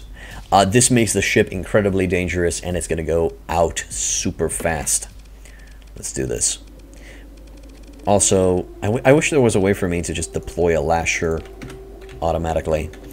Also, we are much faster now. We can outrun the lasher.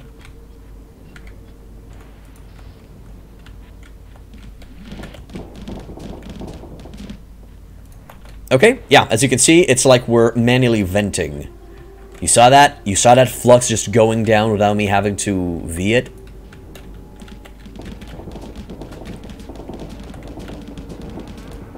And then we can safely disengage because of the extra speed.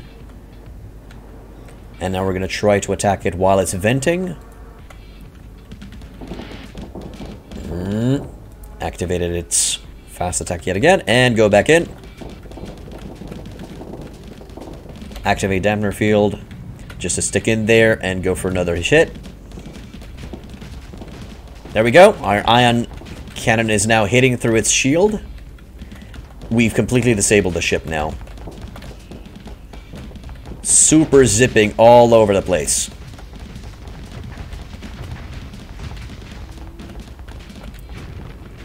If we deactivate the shield right now, we're gonna vent manually. Whoa there! It's shooting its harpoons in desperation right now. Because it knows that it's gonna get destroyed if he didn't push me off there. I think I could have face tanked it. Yeah, and that's the signal. That's the signal that our flagship's combat readiness is decreasing rapidly. We are now at 68 combat readiness. We're not going to have a good time. Hey, Stuff Lord. Welcome back to the end, dude. Oh, uh, I thought I pressed pause.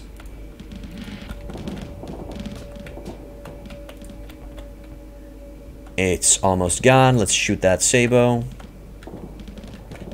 Surprise it. And there it goes. Yay! We won our first battle. So yeah, as you can see, that safety override really, really, really helps me out with this. Uh, usually what I like to run on um, on Centurions. This is a Centurion class frigate. Uh, I like to put, instead of two light dual cannons, I like to put two railguns on it. Railguns are more uh, flux hungry, but they they outrange most other frigates. I could try it out with, um, let's, let's quickly undo that. There we go. What is this game? You see this for the first time? This is Starsector. It's considered to be Mount & Blade in space. My man. I'd like to add light dual autocannon. Take the blasters off. Oh yes, let's try something out. I'd like to see the force mortars. Apparently the force mortars are good against any target. Um, practically they're both good against shields and armor. I'd like to see how they act up. And you know what? Show me the Annihilator rocket pod. I've never I never used that one, so let's let's check it out. And for this, what's the range on it? 550. I'm probably gonna SO it. SO it up the ass. Oh, okay. I don't have enough. Do I want to SO? Yes, yes, I do want to SO it. There's a lot of weapon flux cost for the ship. Uh, what's eating? What's eating flux? Just the mortars in general, I think. Okay, let's see it out. Probably not going to be as good of a setup as the first one. Uh, I'm just going to click on auto. Uh, the force mortars will shoot on their own. I just want the Annihilator rocket pods to be manually controlled by me. Uh, we're going to run a simulation and see what it can do. Also, if you want your, uh, your target to not fight back, there's a mod where you can add simply dummy ships. You can just utilize to shoot at. But I like my targets to bite. Okay. That's all of... No, that's just one. Let's see how it's going to go. Whoa, holy shit.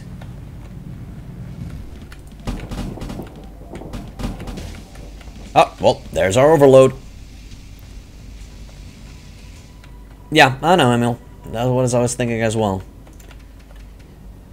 Yep, uh, unguided missiles just going straight.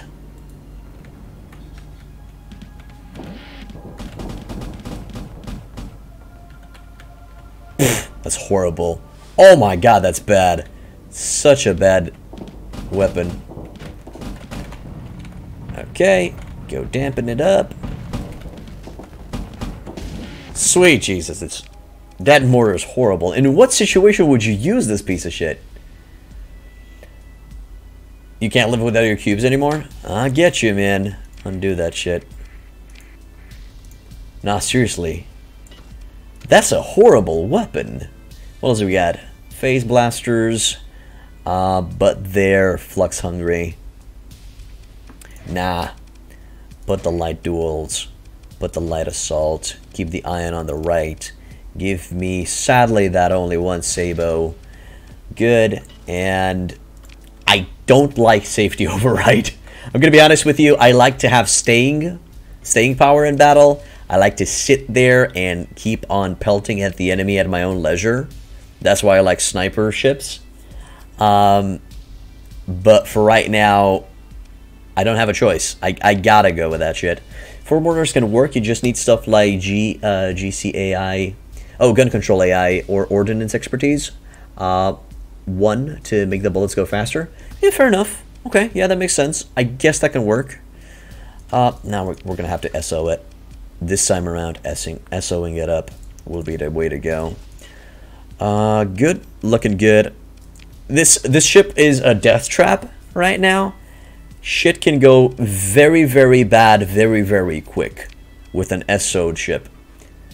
But some people say that SO is love, SO is life. Uh, you're going to have to play it yourself and decide on your own. Okay, so that's going to be our first ship. Uh, quickly, I'm going to look in the uh, shop to see if I want to buy anything. I think there wasn't anything that I'd like to buy. Uh, Vigilance, Brawler NK, no. What else do we got in the system? What? The forces... No, okay, okay, they're not patrolling. Uh, what, what else do we got in the system? We got a pirate base in the northeast. Pirate base. Uh, pirates are pretty straightforward. They want they want you dead. We got Asharu, which is an independent world and an abandoned terraforming platform, which we're going to be using as a storage facility. Okay. We can also go to Asharu to check what's up over there. Um, also, over here, always activate your fuel range to see how far you can go out. What else do I usually activate? I usually activate constellations because it's kind of cool to see each location and what its name is. For exploration, I usually keep that off. And I keep inhabited on uh, just so I know where I can have safe havens. Because if you if you get out there and you run out of supplies, well, yeah, supplies slash fuel, you're gonna have a bad time. Okay, so let's go back in, and we're gonna travel to Asharu by right-clicking over there. It's gonna set an auto course there, and we're gonna start going. Uh, yeah, yeah, that's not a good idea. Also, there's a domain era sensor buoy from one of the mods. You can participate in a small battle and get some starter starter stuff, but we're not going to go for that just yet. Okay, uh, to explain the interface over here, you again have a radar. Uh, you have your destination over here with distance, fuel consumption, and days. With your current speed, how long will it take to reach that location? As we gain speed, uh, this is going to go down. So it's not going to take us 72 days to reach there. It's insane like that. Um, over here on the left, of course, you have your um, tabs, which let's see if we get, went through everything. Uh, inventory, map by pressing tab, your intel screen, which tells you all of the quests available that you heard on the relays, on the radios. Um, so right off the bat, you're not gonna know of all available quests in the world, in the galaxy. You have to be near a relay, and that relay needs to reach with the signal towards you so you can intercept the transmission and know what the fuck's going on. Right now, there's a system bounty in Corvus, so sticking around here to fight might be a good idea if we get another combat vessel. We'll see or simply help out the uh, hegemony, fight some pirates. Yeah, usually, usually when you start off, you always have the system bounty in Corvus, which is awesome. So practically for 60 days, for every enemy of the hegemony you kill, uh, you're going to be getting cash for each frigate, for example. Um, the enemies of the hegemony are all of these guys, which each one is, is its individual faction. We're interested in fighting pirates. Everybody hates pirates in this game. Uh, Pirates and Ludic Path, which were practically space terrorists. Okay, um, of course you have all of the tabs that will show you um, the types of the types of uh, quests that you can have. For example, there's a local quest in this system, which is a system bounty. There are other other missions out there like analyze a derelict ship or survey an unstable world. Um, this is your location, the shiny star. Yes, space terrorists. And that's the location of said quests. You can actually select them for more information. Be careful on what quests you do, because you'll be requiring certain um, equipment. For example, to survey that unstable arid world for the 9th Battle Group. That's the faction that put the quest out there uh, you're going to need at least 60 heavy machinery, 300 crew, and 70 supplies. Which will be, uh, the 70 supplies will be consumed. I don't think the heavy machinery gets, and the crew gets consumed, but I I'm pretty sure the supplies get consumed when you analyze the ship. Also, I'm stretching my leg. There we go. Also, uh, all quests have a time limit. Um, or can be withdrawn. Uh, so if you want a quest to remain and be available only to you until that uh, that uh, time limit expires, you accept it from over here. You click on this little son of a bitch. If you're not really interested in it, it will just fade away after 120 days. But if you want to do one particular request and it's want, you want it to be yours, you accept it.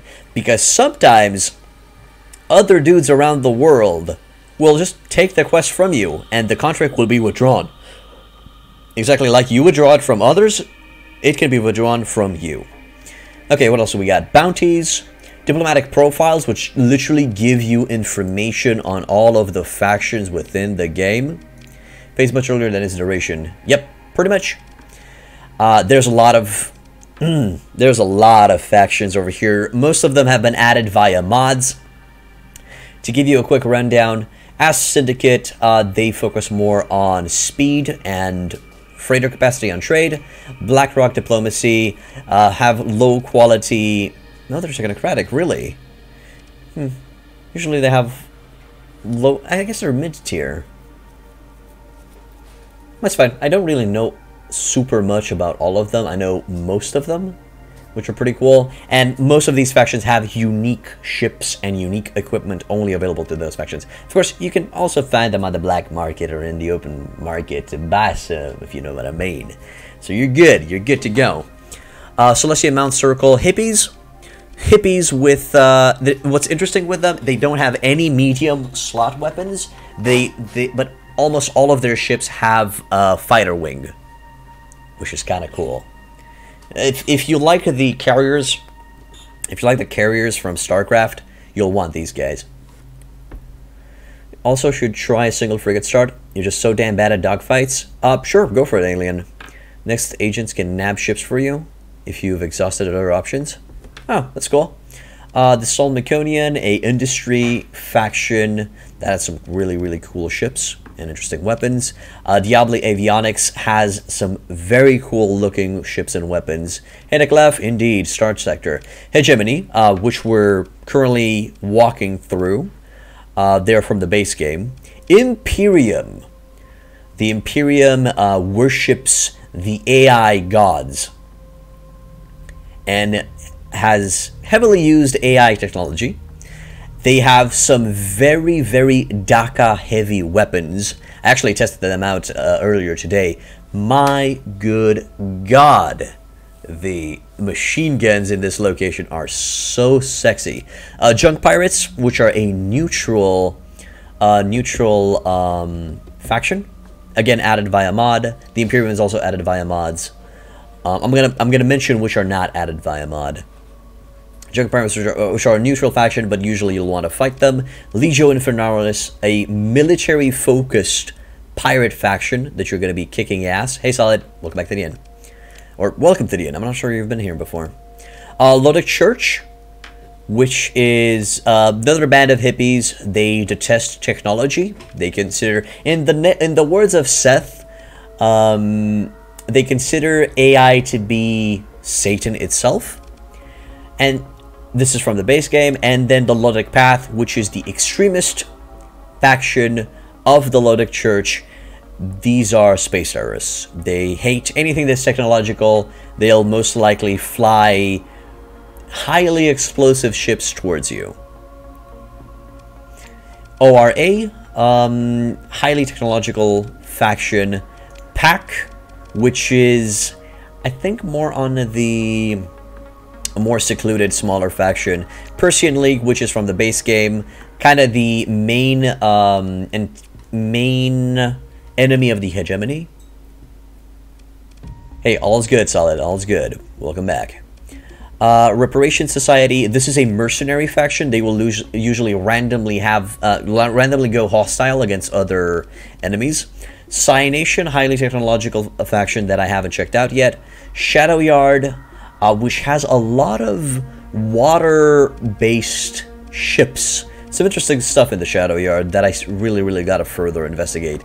Um, are you liking Starsector? Do you plan on doing a one-off, or do you want to bring it as a stable entry? I would love to bring it as a stable entry if you guys enjoy it.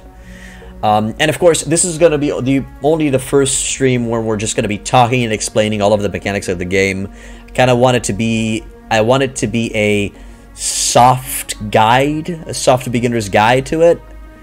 Um, but, well, someday I'm probably going to try to make a more dedicated guide where we're going to be systemically talking about all aspects of the game. I'm going to make a battle plan, and we're going to do it. Uh, but for right now, I still need to learn shit. I still need to learn stuff about the game, so we're gonna get there. Uh, Sindrian Diktat, a military, uh, military political state uh, that is from the base game. Haven't really seen anything Sindrian Diktat specific. I'll have to check them out a little bit more. Uh, Research and Development. This is a mega corporation that has high tech. Uh, this is a mod faction. Has high tech ships and has a very specific mod to them, the null space mod. So practically all of their ships have a null space generator that uh, really helps them. I think they, they practically have an inbuilt SO to them. I'm going to have to further study them. I've never managed to buy one of their ships because they're weird. And um, usually their ships synergize with each other. So if you want to grab Sylphon R&D ships, you'll want to um, have a pure fleet of Sylphon ships so they can synergize with each other. It's, it's weird like that. They power each other, and there are certain weapons that um, do damage to everyone except null null space ships, except Sylphon R&D ships. It's, it's a cool mechanic. Then we got the Tiandong um, Heavy Industries. Uh, Tiandong Heavy Industries is another mod faction. Uh, the cool mechanic about Tiandong is they have the retrofitting, uh, retrofitting, uh, yes, feature or service. You can take certain types of ships and you can retrofit them to be Tiandong ships. They have certain advantages and disadvantages uh, to the new schematic uh, that simply add flavor to the game. Uh, the 10 speed you get from null space conduits uh, can't really be compared to an SO. Uh, yeah, but the passive flux venting can be compared to an SO. Wouldn't you say, Emil? Okay, then we go to Tritachyon. Uh, Tritachyon is a mega corporation. Again, uh, they are considered, they're from the base game and they're considered to be the creators of the phase technology and AI. Uh, they usually have energy weapons and high-tech ships. Um, can I give you an advice, or do you like to do all alone? Uh, yes. Please give me advice. I'm okay with that. Uh, just try to not over backseat game. You know, if you have an advice in the situation that we're discussing, go for it. But don't tell me an advice that I'm going to be doing in the late game. Hey, random advice when you have a colony, please build this first. Do you see me? Do you see that I have a colony? No. Then please wait to give me that advice when we get there. Make sense? If you can give me an advice in the now, all for it. But don't give me random advice that I'm going to use sometime in the future. Okay. Uh, for pirates, everybody hates them. Everybody loves to hate them. They will sometimes be your main source of money. And that's it. Okay, and then you also have exploration missions, um, like analyze the derelict or survey, stuff like that. Uh, okay, so that was the explanation of the Intel tab. You also have the Command tab. Over here, you're going to be managing your colonies. Um, you're going to be checking out your overall income per month, your doctrine and blueprints. Practically, um, how uh, how will your faction fleets and your own fleet act? Um, so, for example, uh, this is this is the place where you can manually tell your ships to be more aggressive or more passive. Uh, in this case, I like to make the ships a little bit more aggressive. Like so, set them as a default more aggressive. You can also check blueprints over here. These are all of the ships, weapons, and fighters that we can produce at a colony if we have a heavy industry building built. Okay, and that's it. I have no idea what custom production stands for, though. There are a lot of pirate mods that are very good and add a lot of flavor. Um, as in pirate designs of ships, solid. Usually when I see a pirate design, I, I only see a penalty, a debuff to pirate ships. I mean, have you seen the pirate version of a wolf? It sucks. Uh, is there a place where you see your bounty income? Or is it simply added without getting pointed out? Uh, as soon as you get, as soon as you kill your bounty target, you get paid. After each battle, um, if there was a bounty in the enemy, afterwards you get paid. a sum of money gets transferred directly to your bank account. Uh, custom production is the important bit. Uh, that's where you actually queue the ships to be built and to be used by your faction, right? Wolf is baseline trash, to be honest.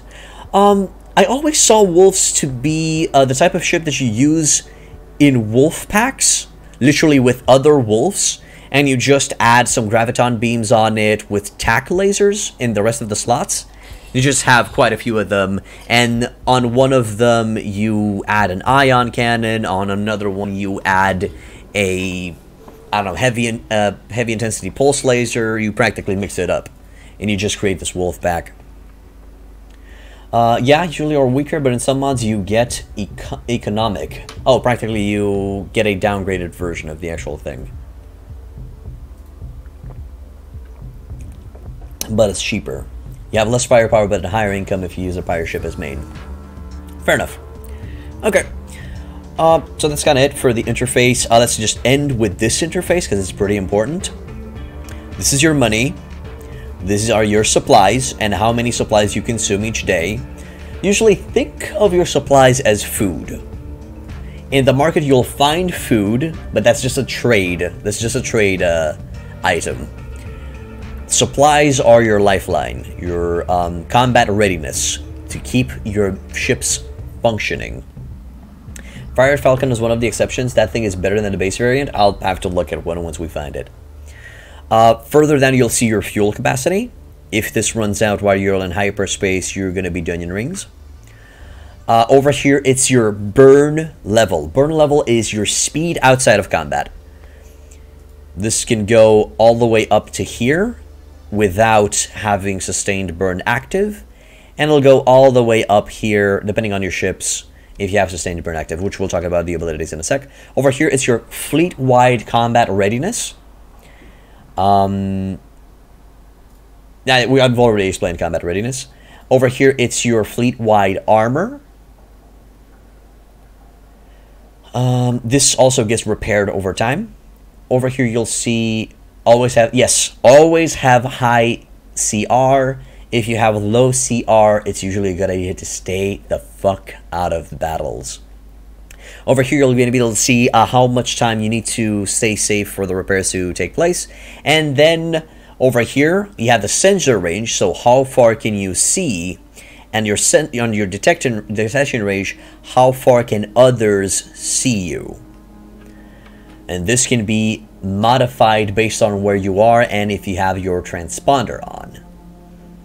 Okay, speaking of transponder, let's start talking about, real quick, about the abilities. Um, your transponder is your driver's license. It's they're your identification codes. If you have them on, everybody is going to know who you are, who you represent, and where you are. Having the transponder on will increase the uh, the distance at which you uh, others will see you. It literally increases by 1,000 units. Hmm? Buy always on spare crew? Yes, I know, solid. I know that one. It's fine. Always have over the skeleton crew limit, which we're going to talk again in a sec. Uh, that you'll be able to see that in the uh, inventory screen. Um, practically, when you have the transponder on, you want to be known, you want to be seen, and most factions, when you deal with them, will want you to have your transponder on. In in most factions, it's illegal to have your transponder off. If you have your transponder off, one of these attachments will chase you down, thinking that you're up to no good, and you'll receive a faction penalty and a free scan. If they scan you and you have and you have uh, illegal goods on you, they're going to get confiscated and it's going to be shitty and it's going to be bad for everyone. When you want to smuggle stuff in a location, as in giant amounts of stuff smuggling, that's when you want you to have your transponder off. You want to have a very, very, very small detection range. You want to go dark. You want to be slow and stealthy, like a goddamn ninja. A space pirate ninja. Alright.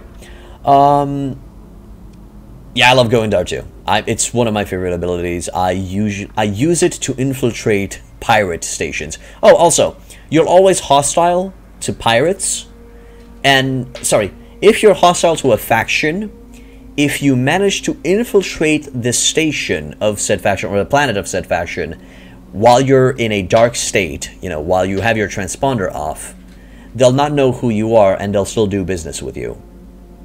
But if one of their defensive fleets sees you, uh, they'll know who you are, they'll refuse to do uh, work with you.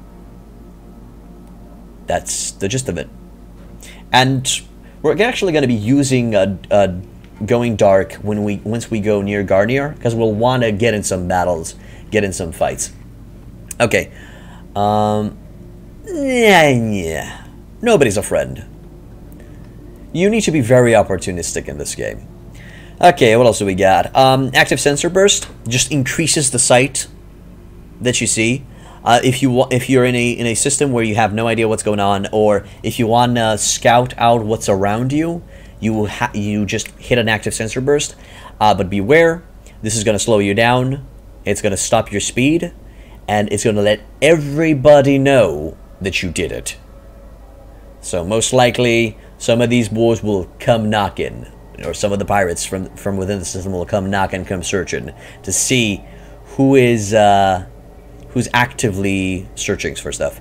Emergency burn, uh, you literally if you want to go fast and escape someone, you activate emergency burn. It will automatically give you high maneuverability and maximum burn speed for your fleet. Sustained burn does the same thing, but you don't have maneuverability. You're going to be going in a sustained state in a straight line, and it's going to be a little bit harder to steer. And usually when you're traveling, you're going to be having sustained burn on. Also, when you're running, you can use Going Dark in the asteroid field to have a bonus in stealth. Indeed. I know, do. You say that like every system contains stacks of pirates. No, no, not every system contains stacks of pirates, sadly. I wish every system would contain stacks of pirates because it gives you stuff to kill. Uh, what else do we got? Scavenge. Literally, if you find scavenge uh, if you find something to scavenge in space, you're going to be using this. Um, siphon fuel, which is from a mod. If you're inside clouds of nebula, nebulas and stuff like that, you can siphon fuel. Uh, this is a trade. You practically give away your supplies for extra fuel. That's it. Uh, interdiction pulse. You practically fry the engines of everything around you uh, for, I think it's around seven or eight seconds. Um, but it stops you in your tracks. So you kind of gotta nail it. I, I never use interdiction pulse. I never use because I always sneakily catch my prey. Uh, follow me. If you're part of a faction, if you're commissioned, you know, you're, you're kind of a vassal of a faction, uh, you can use follow me to tell other fleets to follow you for a few hours. I'm not exactly sure if, I think it's a few days. Uh, but practically, when you need reinforcements to deal with something, you want to bring in the boys. Distress signal, which I recommend to never use. Never use this. It will get you into trouble more than getting you saved. Also, I understand that you should ignore distress signals. Uh, you're also going to be gaining other abilities based on the skills over here. For example, once we have navigation at the maximum, we're going to be able to transverse jump. Let me explain what that is. Uh, so currently, to get out of the system, we got to use the Jangala jump point. We got to get out utilizing a predetermined jump point to get out of the system. With transverse jumping, you can just get out of a system from wherever you want. It's very good to get in and get out of systems stealthily, and I feel like it's a essential skill to have on any character. Just any character. Unless you want to be a goody two shoes and never smuggle anything and always face tank any fleet that you're going to be seeing.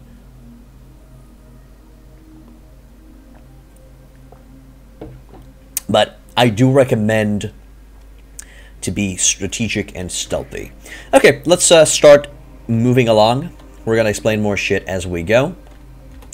Uh, one more thing that I wanted to explain. Uh, over here, you're going to be able to see, if you go into the inventory screen, you'll be able to see your cargo capacity, uh, the amount of crew that you can have, and the amount of crew required to uh, maintain uh, all of your ships operate pardon, fully operational. In this case, I need 30 crew Currently, we have 36, so all's good on that end. I could have sold that Swarmer. No, sorry, I'm, no, I'm going to sell it somewhere else. I'm probably going to keep the light auto cannons for a little bit. Let's start moving. You can increase speed of time by holding the shift key. You can keep it... I, I usually just like to keep it on normal speed because I like to watch things as, as they unfold on... And I kind of like to pause stuff. Alien Super Weapon, thank you for becoming a follower, my dude. Welcome to Hit Point Inn. Okay, so we reached Asharu. This is a independent uh, planet. It's not part of any of the major factions. They kind of form, it's kind of the independent Worlds League. Uh, they're just neutral planets uh, that just don't participate in active politics. Um, yeah, that's, that's kind of all I have on them. And usually they don't specialize into anything, and they have a little bit of everything. Okay, let's see. Um, I'm gonna to search for um, companions. You'll usually want to open the com directory, and you'll you'll see over here mercenaries or officers or stuff like that. You'll also find administrators um, for hire. The administrators are used to well administer your colonies in case you don't want to do it yourself. Okay, let's take a shuttle to the bar. There's nothing going on at the bar. Let's go into the trade goods screen. Uh, what do we got here? Stabilized shields. Um, natural, pla uh, neutral planets, free planets. Uh, there's no neutrality in space. Sure.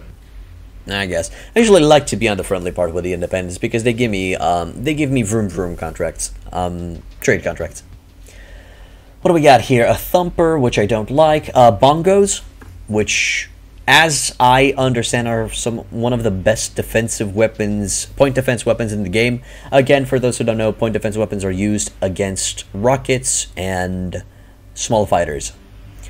Uh, stitch gun, which is uh, useful against hull, horrible.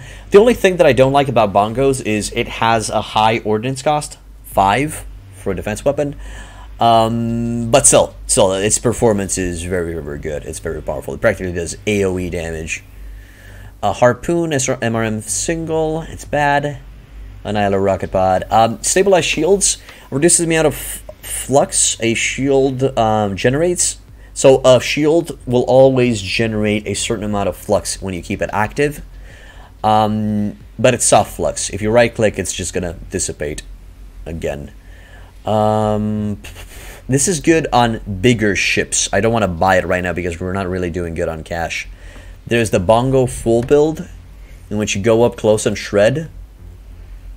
Oh my, yeah, shit. You go with, do you build a hammerhead with SO bong, full bongos and bongo drums on the front? Because that sounds stupid and insane at the same time. And fun. Oh god, I gotta, I gotta try that out when I can. What do we got here? We got some luxury goods, some drugs, uh, some harvested organs, Ooh, wow, a Typhoon Reaper launcher. That's a medium missile. Nah, that, that thing's dangerous. That thing launches Reapers. And we found some Sabots. Uh, Sabot SRMs. Uh, it's practically the same Sabot that I have equipped on my ship, but they're three. They have a limited munition of three. Um, also, to tell if a weapon has a um, munition limit, uh, there are rare cases, but mo mostly missiles have limited ammo. You'll be able to see it over there on the, bottom on the bottom side, above the ancillary data. No flux cost to fire, but limited ammo 3. So it's a direct upgrade to what we currently have. Uh, what else do we got here? Uh, mining blasters, meh. Praxis Rotary Nailer. I haven't really tested out this weapon, but we don't have a medium slot, so I don't care. Volkite Battery. Uh, point defense weapon. Effectively just a pair of Volkites, um, explosive saturating an area with void burst rounds, shredding just about any missile attempting to pass through. So kind of a medium slot, um, the point defense weapon. Thumpers are bad. Auto blasters. Okay, uh, the reason why thumpers are bla are blad and bad at the same time, they're bad, is because they do fragmentation damage.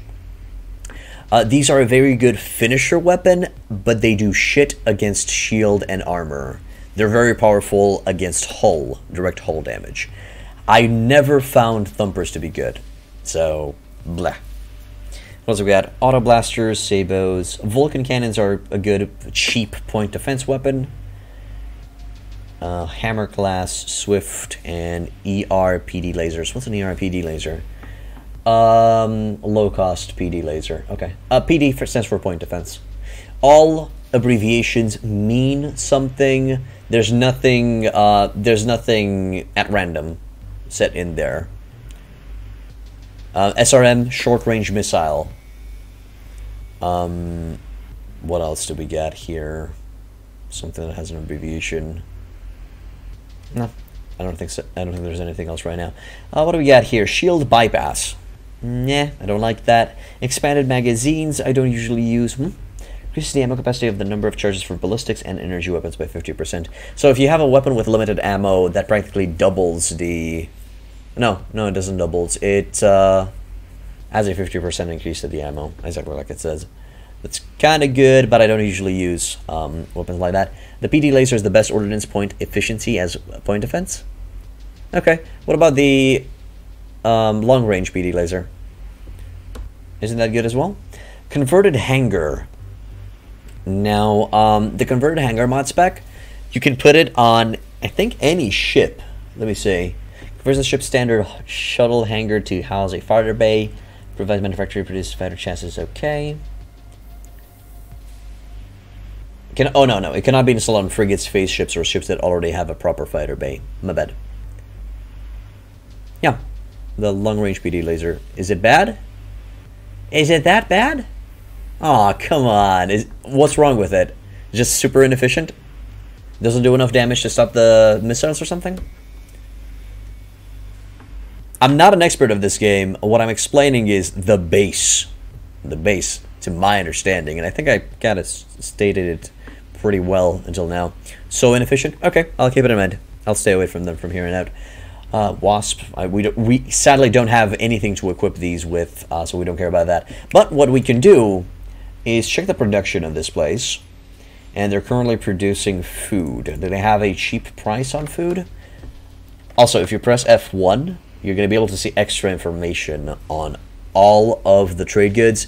It The game literally tells you where you can buy it for cheap and where you can sell it for high. In this case, we can buy it for a minimum of 10 credits in Eventide Hegemony, which is in the Samarra star system at a distance of 3.3 light years to the southeast. The only the only way uh, long range PDs can work is when you mass them.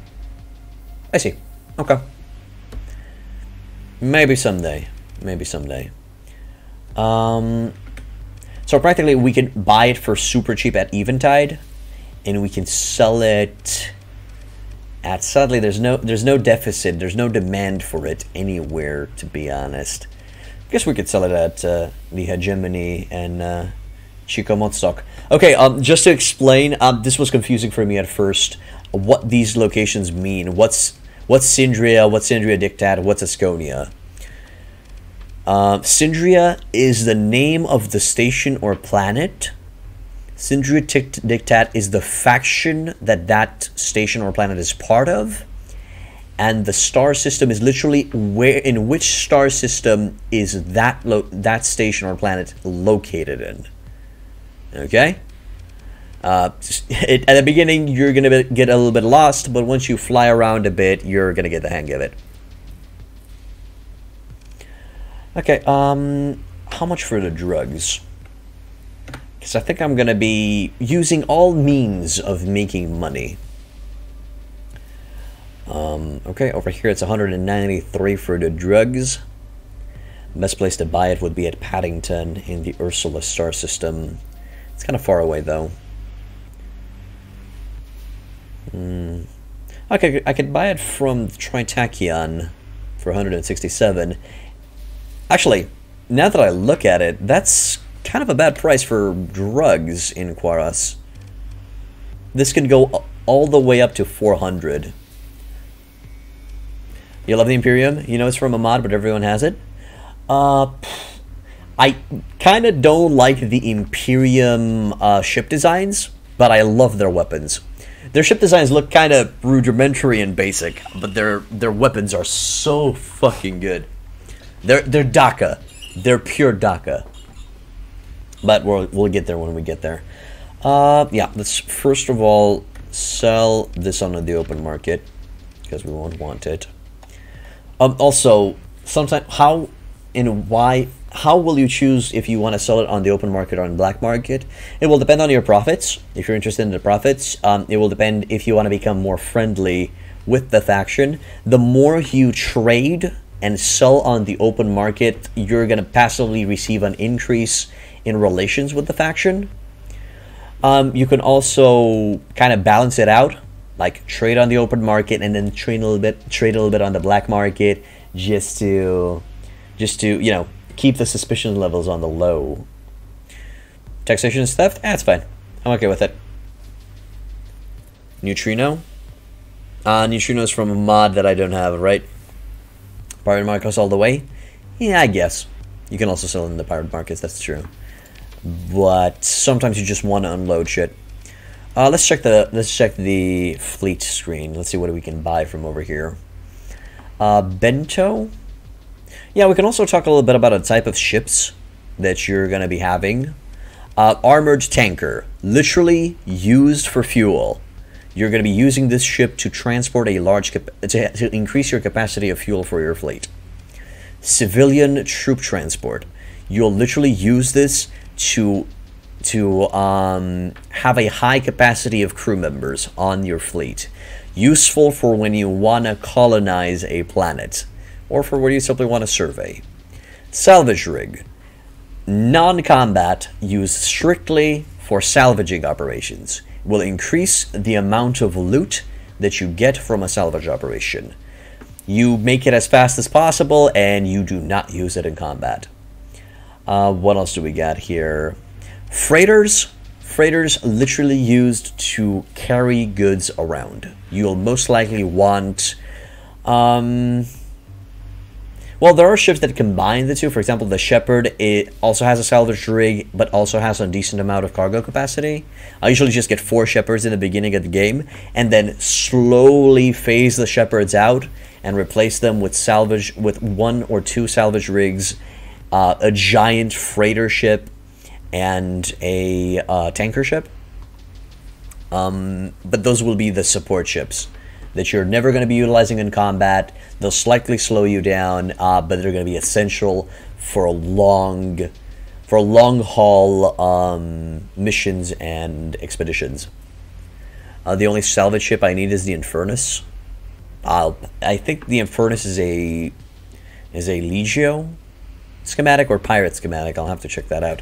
Uh, what do we got here? Um, Acantina modded demodded to hell. So look at this. Look at this ship. Uh, sadly, my face is over it, but it has compromised hull, increased maintenance, misshaped turret gyros, unreliable subsystems, performance irregularities. Once you once you learn all of the terms, you'll know each ship exactly, each demod exactly what it does. Compromised hull, less hull HP, increased maintenance. It costs you more supplies to keep it running on a daily basis. Usually, increased maintenance is a deal breaker. Uh, misshapen turret gyros. The turret speed, the churn and turret speed of the ship is weaker. It's slower. So it's going to be having problem with any faster ship than it.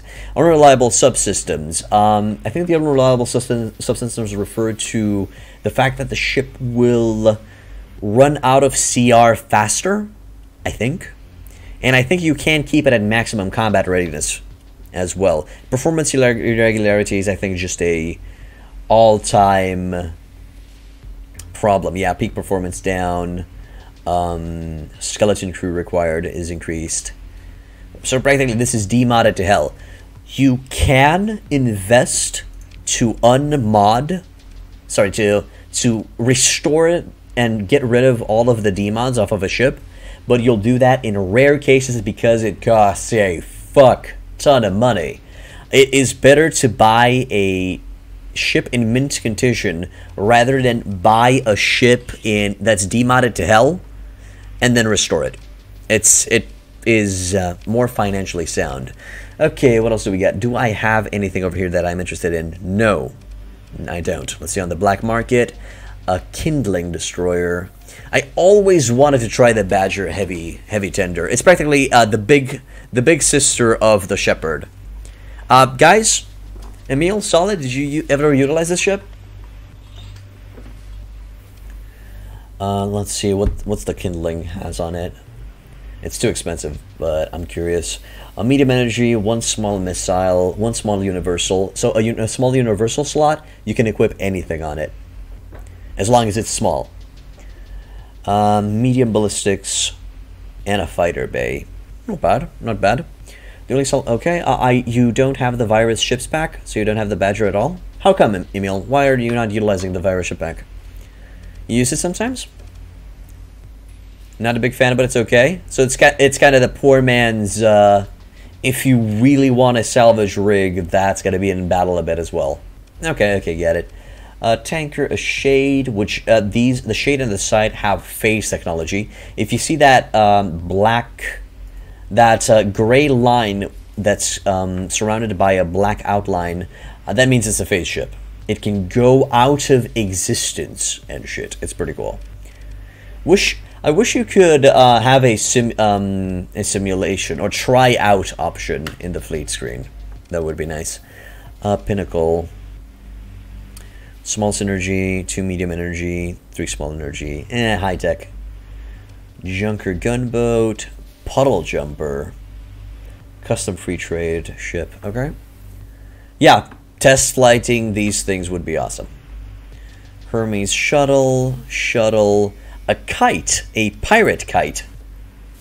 Hmm. I have the money to buy it. Practically, the the pirate kite is a, is a support ship. Do they? You always need to take into consideration what can you equip the ship with, based on your inventory and what's on the planet. Um, you will um, all ships that you buy with a few rare exceptions, will come without weapons. So if I could grab this kite, which gives me one small ballistic and two small missiles, uh, what can I equip it with?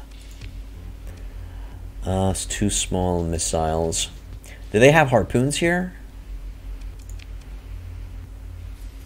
Uh, there should be... Hey, Lit Shicker, welcome back end. There should be a greasy salesman trying to convince you to overpay for the ship.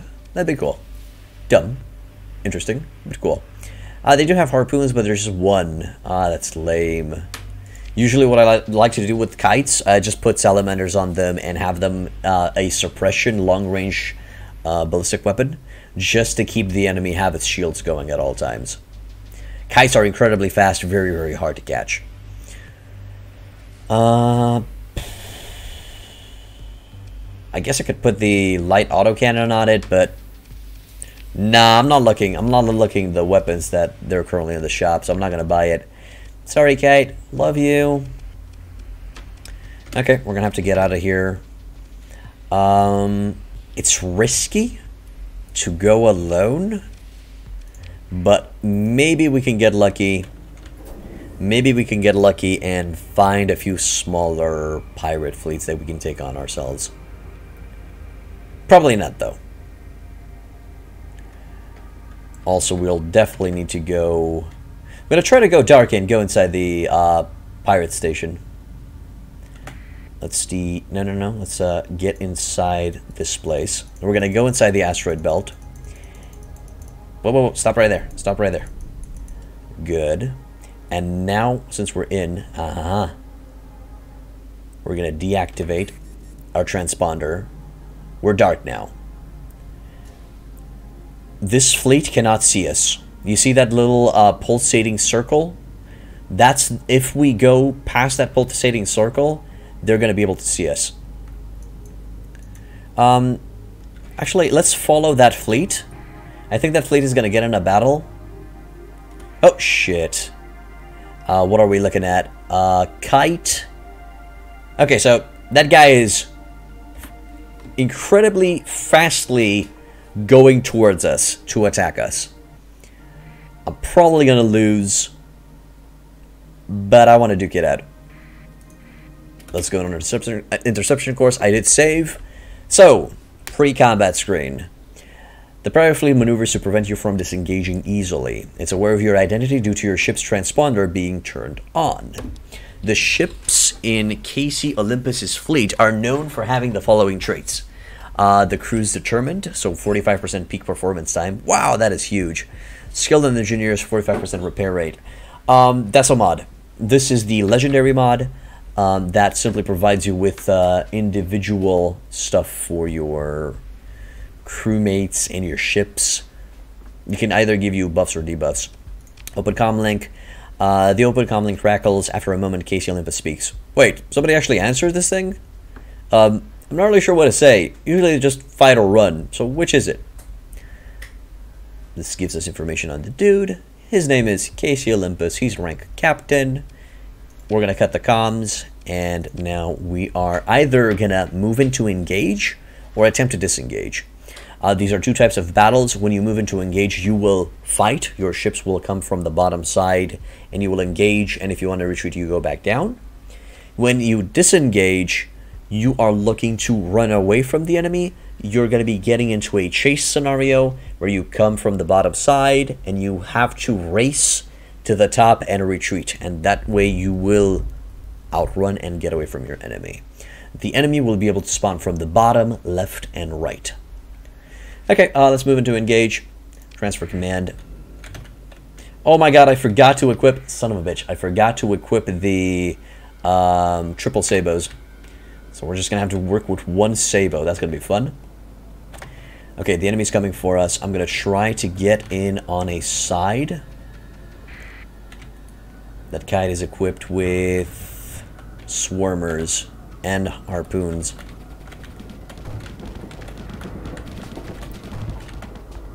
We're going to try to outmaneuver and take these guys one at a time. There we go. Retreat, let us vent, focus on the kite now before his friend comes back. Stay on its toes. The combat can be very, very fast-paced, but once you have capital ships and stuff, it is going to slow down significantly. Good. Get away from that. Get away from the Cerberus. There we go. Now we can fight.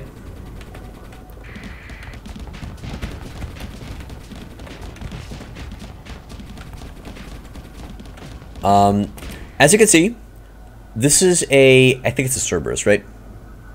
I think that's the name of a Hound. No, no, no. This is a Hound. This is a pirate ship of unique design.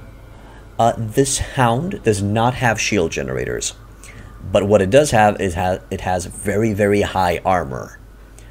Uh, I recommend against using shieldless ships because they're vulnerable to ion damage. Practically, we're literally disabling its weapons right now. Oh, it's trying to get away. We're not going to let it. We have SO. We can outrun it. We can outrun most ships. Yeah, it is going for... I can I can tag that hit. Please hit. Actually, can you go for the Sabot shot? There we go. We're trying to take out its engines, and it goes with a flame out. Flame out means it can no longer uh, utilize its engines. The only thing that it has for it is currently the momentum, and it just drifts through space until they reactivate their uh, their weaponry, their weaponry, their engines. And there we go. We fought one against three. Okay. Um, over here is going to show you the results. Um, which ships were deployed, which ships retreated, uh, which ships got disabled or destroyed on both sides, on your side and then on the enemy side. Now we can consider to recover some ships. In this case, it's the Kite. It has structural damage, so uh, less hull HP. I think it's less, actually, if we F1 it, we'll see exactly what problems it has. Structural damage, non-compliant gunnery core, and unreliable, unreliable subsystems. Uh, peak performance goes down. Uh, sensor profile and sensor strength, that goes down because it's a, a civilian hull. Hull integrity goes down. Armor rating goes down. Shield flux um, damage goes... Yeah, shield flux goes up. Hey, Tolirax, welcome back to the end, dude. Doing fine. Playing some Starsector. Hmm, not a lot of people showing up for Starsector. Well, what you gonna do? I'm not gonna be grabbing any. I'm not not gonna be grabbing the the kite. It has some D mods that I just don't want to go for. We receive a decrease in relations with the pirates. We're already hostile with them. We receive 401 credits, and now we can pick through the wreckages. Um, one question that a lot of people ask Is it worth it to um, recover the ship and sell it? No, it is not worth it because to recover the ship, you need to invest supplies in it. So it's just better to scrap it and move on. Okay, so we got supplies, fuel, two crewmen, two heavy machinery, uh, 31 metals, which is kind of the trash, trash loot that usually you're not going to be making a lot of profit on. We got a high value prisoner. Uh, this is one of the prisoners that I've mentioned that can be sold for either a profit or for a reputation hit, uh, reputation increase. Uh, Annihilator rocket pod, a bullpup auto cannon from the Exodus initiative. Uh, bullpup is a good replacement for the light assault cannon that we have on our ship. You can refit your ship in space but it's a bad idea. Your combat readiness will go down severely, and it's going to take a long time for it to go back up. Always refit your ships in a station or on a planet. It's not a casual. It's not a casual game at all, Soldier X. You really have to read it, and um, read and study and get accustomed to the game. Do a lot of trial and error my God, I read the entire Wikipedia, all of the guides. Um, I've also read the entirety of the Codex, with the mods included. Hooey. And I still don't know half of the things that are in this game. Because I simply don't remember.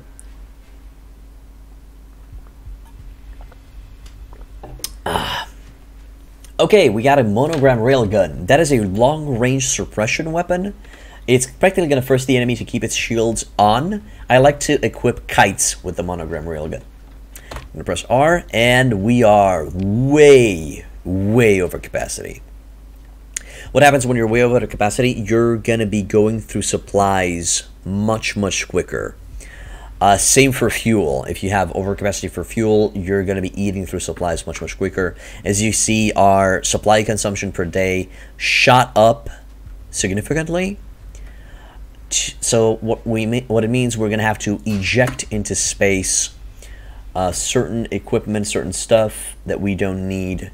For example, I don't want the annihilator rocket pod. I'm going to sell that and get rid of one supply. That should be fine. And then for fuel, we're just going to get rid of 14 units so we can have the maximum amount. Uh, to reach the maximum amount, you just control and click on the stuff. You know, if you want to individually select one unit, you hold shift and click, and shift and right click puts them back in. That would be the idea. You like that? It's a rewarding feeling getting more knowledge and getting better? Yes, that is true. That is true. I do feel much better now that I know what the fuck I'm slightly doing. Even though most of the time I still have the feeling that I have no idea what the fuck I'm slightly doing. Okay, um, so what do we get from that battle? Uh, we gained 9.4 experience. We've advanced two levels it was a big battle. We have two character points to spend. We have a battle report, what happened against those pirates. Um, and this is part of the Legends mod. In this case, we've gained a new passive. Our ship, the HPI Harpoon, has gained a reputation for being durable. We've increased our hull integrity and you can also verify that on the refit screen. By mousing over notable over here it's going to show you the passive that you gain from the legendary mod. Uh, it has a rating okay uh, let's see. Durability 10% hull integrity increase. So literally our HP went up. The HP for the ship went up which is awesome. Okay let's go into the uh, what what other information? Okay. No other information. Let's go into the character screen uh, this will bump us up to lesser fuel consumption and level 3 technology. These over here don't provide you with any benefits. They're just there to unlock higher tiers of perks. Okay, that's going to be it for that. These guys should go boom. My fleet consumption has just gone up. Why? Most likely feed consumption went up because we're trying to recover... Uh, yeah, we're good on that. Uh, we're trying to recover um, combat readiness. Okay, since we went on this battle, we are gonna be going away. Uh, there's already a pursuit fleet coming with us, uh, after us. We don't want to fight those guys, because um, I'm gonna try to go back to Jangala. We don't want to fight those guys because there would be no point of us fighting them. We can't loot their stuff uh, because we just don't have enough space anymore. And also, mm, I can take I can take on that fleet, but we're still risking it for nothing. So we're gonna try to. Oh, emergency bird! Ah, son of a bitch. Never mind. It wasn't fast enough. It's lame. It's very lame. Okay, well, at least we're going to get an extra level if we win this. Um, but we're not going to be getting any of the loot. What we can also do is we can just return here after we just dump everything at the station in Jangala. We can just return here and get back the rest of the loot. It's an option. These ejected cargo pods will remain here until you get back and take them. I'm not exactly sure if the AI uh, goes and grabs them, to be honest. Can you be in factions or play as a pirate and mercenary? Yes, you can, Dollar X. You can join any faction as long as you have positive relations with them. Including the pirates. Okay, uh, continue. Let's get in there. Let's fight it up. We gotta be fast about it. Okay, you need to go down.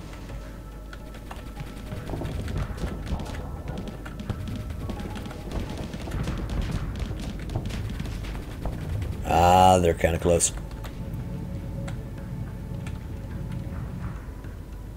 Whew, that's a lot of rockets. Okay, let's deal with the, the little boy first. Hey, he has a monorail. Whoop. Hey, gotta, gotta, gotta, gotta, gotta move a bit.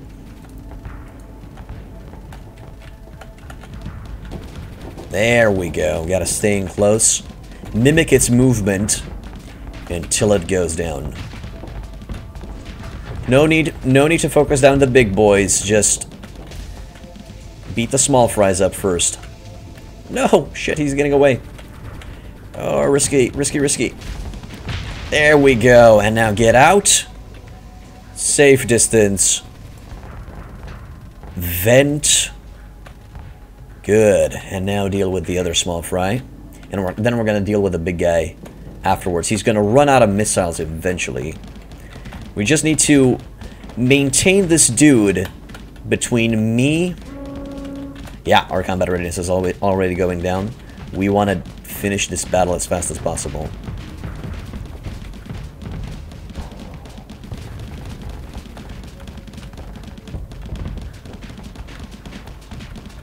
Come on. Go down already, you shit. There we go. Good. Now we can deal with the final target.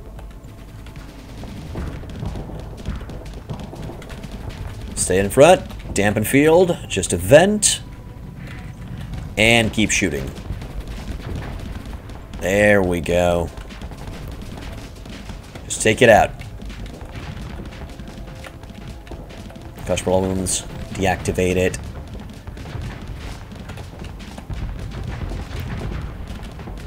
Good. Stay in its space. Stay in its space. We have the staying power.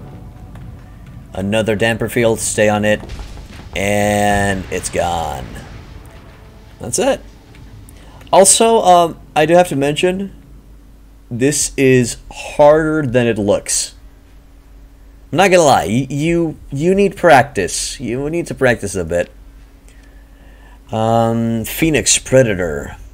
Predator X class assault frigate. Oh my god, it's demodded to hell. Uh, degraded engines, glitch sensor array, impaired life support, unreliable subsystems, non-com... Oh my good god, we're not grabbing that. Sometimes you'll want to grab a ship just to have the extra cargo capacity to take your stuff and take the loot back. Uh, but this is a combat ship. What's its cargo capacity? 30? It ain't gonna help us here. So let's just continue. Pick through the wreckage. Uh, we found 50 supplies, one... I'd like to... Okay, I can grab that. That's awesome.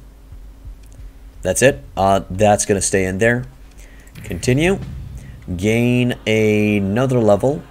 We received a system bounty, so we are getting paid for killing these pirates. Uh, we've uh, received 4.9k for that fight, and we've improved our reputation with the hegemony for by three. So that's awesome. I might need to save. Uh, you can quickly save by pressing the F5 key. Okay, that's gonna remain here, and we gotta fucking run.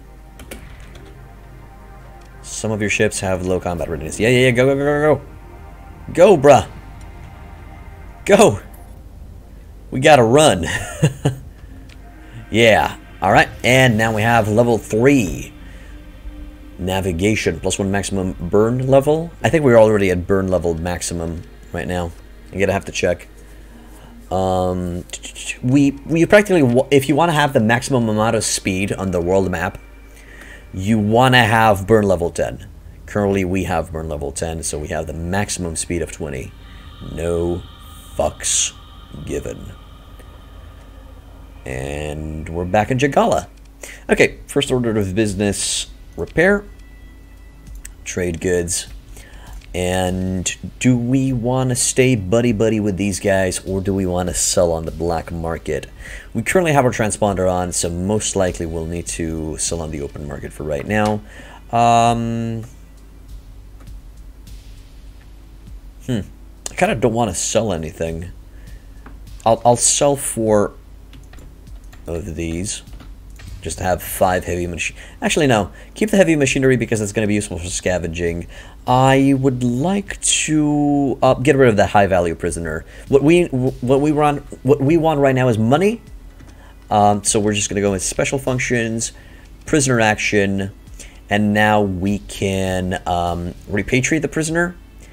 And this is going to release the prisoner for a reputation boost with the hegemony, or collect ransom, which is going to give us 4.6k. Really? Just 4.6? How much would he be if I would sell him on the market? Oh, one. Well, clearly we're going to be grabbing that bounty. Never mind. Collect ransom, please. Okay. Uh, let's see. Um, the ships in the buying section always um, rotate at the end of the month. At each end of the month, there's going to be uh, new supplies, new ships over here. Uh, oh, that brawler. Oh, that Tarsus. Oh my god, I'm gonna buy. I'm, I think I'm gonna buy that Tarsus. Tarsus is a freighter. It would simply increase everything. It would increase our inventory capacity, which we desperately need. Is it too expensive to go for right now. Should I just focus a little bit on the freighters? Not on the freighters, on the frigates. On combat frigates, to be exact. Hmm have more and more the feeling that this is a Mount & Blade in space. It is Mount & Blade in space. Pillar Rex. It's literally Mount & Blade in space. That carrier would be awesome, but it's kind of too big and high maintenance for right now, and I can't defend it. That's the problem with that Condor. I can't defend it right now with what ships I have. Um, I can grab the Vigilance, but I, I don't like the vigilance. Uh, the problem with the vigilance is it's very, very uh, susceptible to dying to small fighters. Hey, Sirius, welcome to the inn. So the combat system is far superior? Ish superior? Yes, it's more complex. More complex, more strategies to think of um, than Warband, that's for sure. I think than Mount & Blade in general. And I don't really have anything to equip it with, so... Mm -mm. I could put a point defense weapon on it. Mm, are there point, are medium energy point defense weapons out there? Hmm. Nah. Nah, nah. What, what does that kite have? A compromised hull, so if somebody spits in the general direction of that kite, it's gonna die. I, I think I'm gonna buy the Tarsus. So, the Tarsus is a freighter ship that is not for combat. This has four small ballistics on it just to defend itself. Not for combat at all. It is a civilian grade ship, so we're going to have to modify it a little bit, but we're literally grabbing it for the inventory capacity. Uh, no, just humans. Not really aliens in the game. There's no actually there's there's no marriage system in the game. Rex. Let's grab that.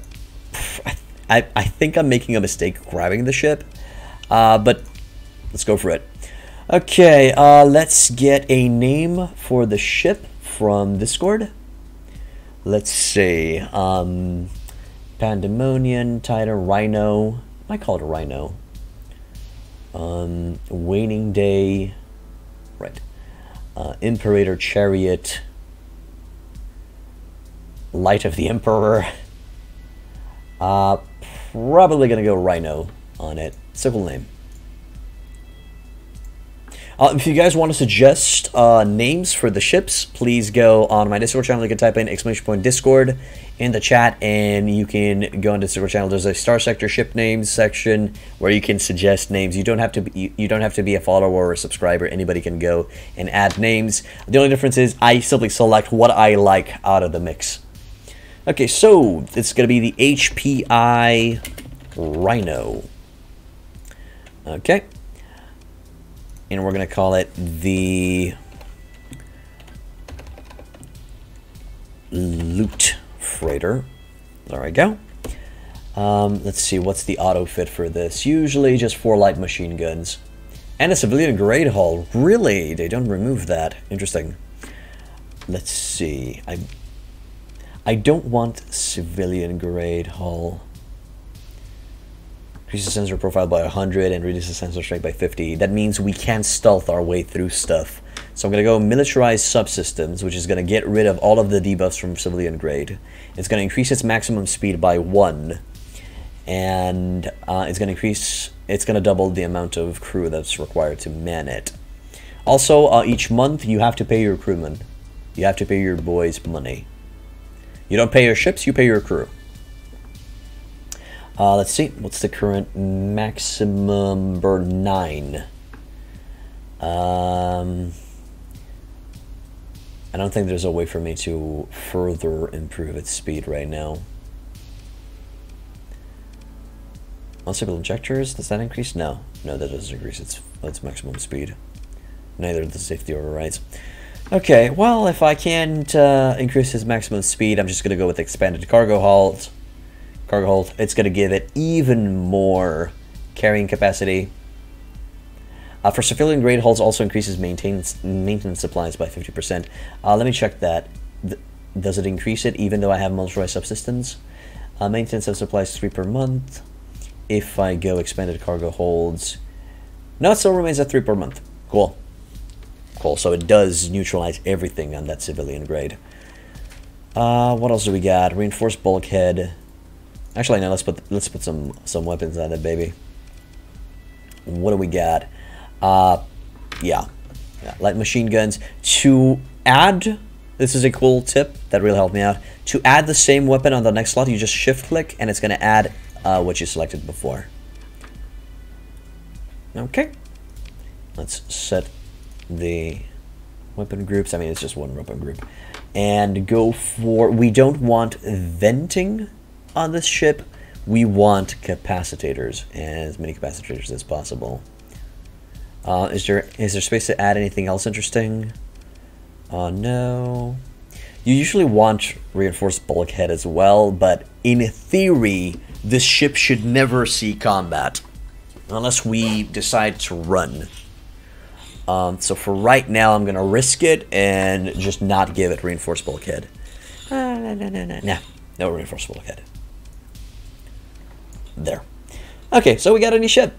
The HPI Rhino. Oh, right. Uh, there's also another thing that I want to do. I want to replace this light assault gun and add the bullpup autocannon. Hey, Martin. Welcome back to the inn, dude. Enjoying some Starsector that means we got to bring down one vent to have enough ordinance points to add the bullpup. There we go. Uh, but it's no problem. I think the light assault cannon produces more flux.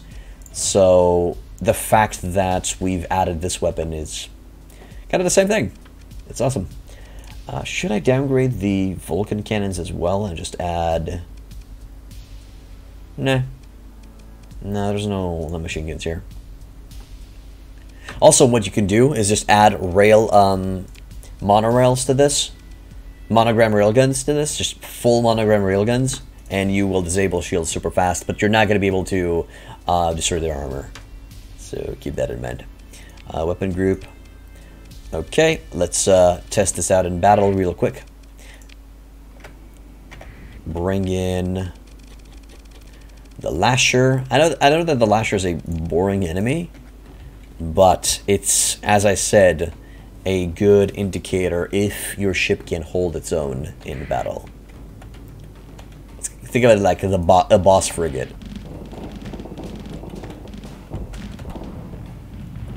Whew. Holy shit, that saved my behind so well. Oh, that was good reaction time.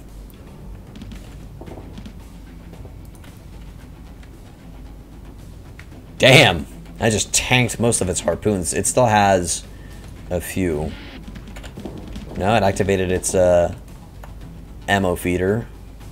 And now fight it.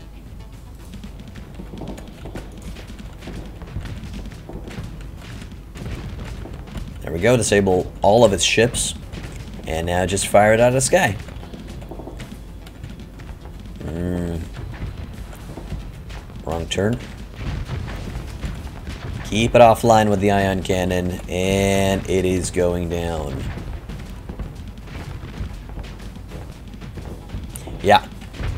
Yeah, this design will do just fine.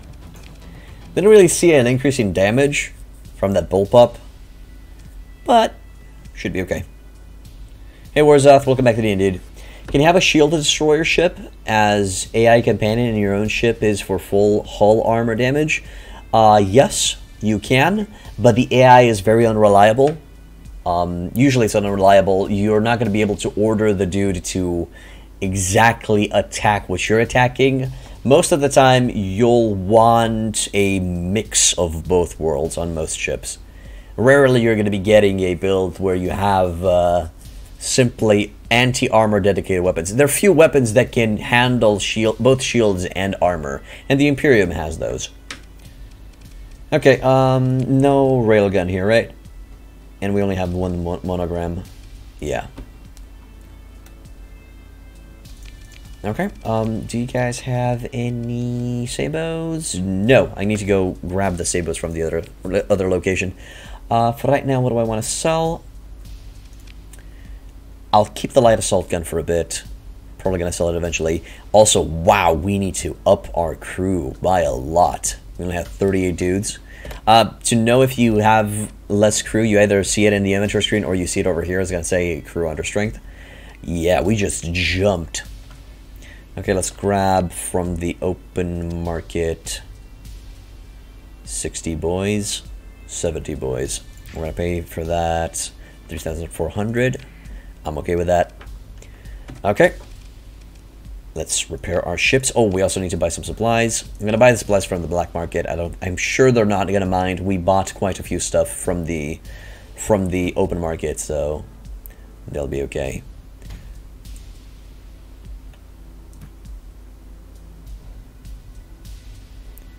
There we go.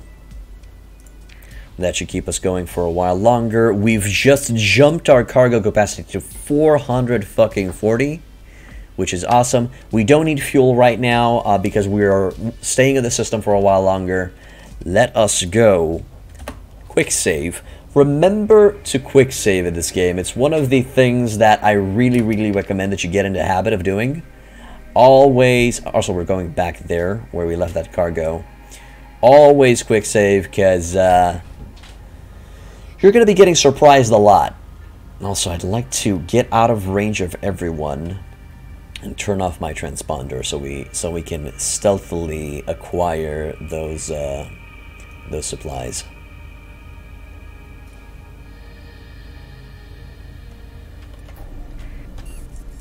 There we go. Okay, so let's see. Oh shit! Go go go go go run! Whoo! What is that? Oh, I can take it out. I can take it on. Yeah. So what happened there is They knew a ship, a fleet was coming, and then its transponder went off. So they couldn't see the fleet anymore. The AI came in to investigate. The pirates came in to investigate to see what was going on. I was, I think I forgot to go dark. I just deactivated my transponder. Uh, no, you don't use fuel in, as you stay in your system. Uh, you use fuel if you transverse jump, or I think I think you use some fuse, uh, fuel if you emergency emergency run as well. Uh, continue. We're gonna deploy this ship, and only that ship. The Rhino is not combat capable. So let's go and try to kick it, kick their ass. You only use fuel when traveling between star systems. There's a Wren. Is that a, that's a sidecar? Let's try take this out first if we can. Is that a light needler on it? Oh, that's a good sounding Daka weapon.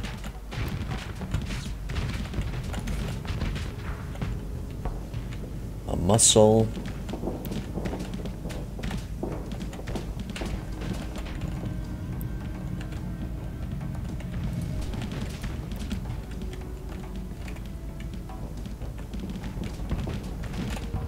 Ah, I can't. I can't. I can't receive sustained fire from both of those guys. Let's catch up to that dude. Oh my god, that dude's almost dead. Fuck it. Let's go get him. Hold fire so we can have maximum speed. Ah, you're not getting away, fucker. Ah, this is disgusting me time. He's gonna get away, isn't he? Is that a rocket? Holy shit. Come on, you bastard. Yes, the AI will retreat. And come on. Please? Uh-oh. And they're out of there. God damn it. Wasted so much time uh, catching up to that guy. Let's try to kill these guys before I before I die.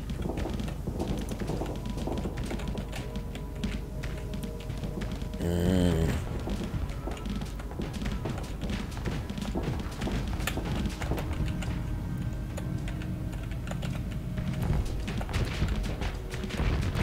Good, good. Take it out, take it out, take it out. Before we run out of combat. And now it's the sidecar's turn. Should go fast super quick. Yes. We deactivated everything on that. There we go. So we keep so we keep on deactivating it. It's it's such a small target, it's hard to hit it. Lay him out. Come on. There we go. Oh, I'm so sad. So sad that that dude managed to escape. I'm gonna have to... Do I pursue him? My combat readiness is not that good. Oh, what? It's a Mudskipper? Might have some good shit in it. I guess it's a... No, it's a Mudskipper MK2. It's, it's been modified for battle. A Mudskipper is a freighter ship. Or... It's either a freighter ship or a personal car personnel carrier. carrier. Um, give it a shot. Take a man of the action. Let's try to to nab it. Uh, from down below. Let's get it.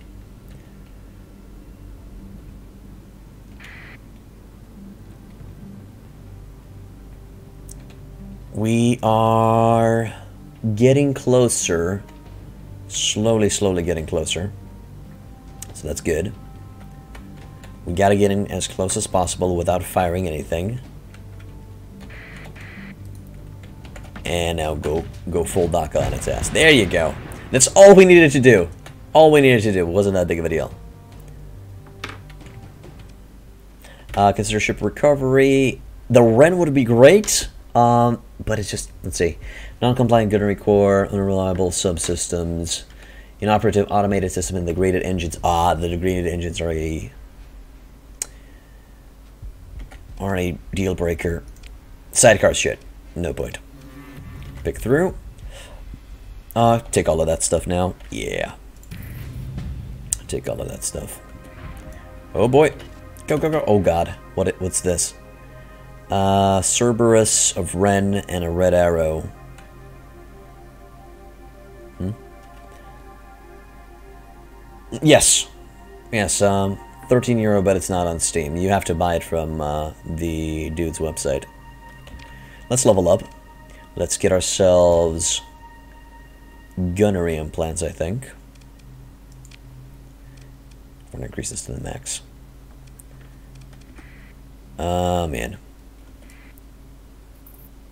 Hmm? What's it doing? Pursuing my fleet. Oh, never mind. What? Sorry. Sorry, I'm so sorry. I've turned the transponder on. Thank you. God damn it. And that's what happens if they catch you with your transponder off. I'm looking for the cargo that we lost.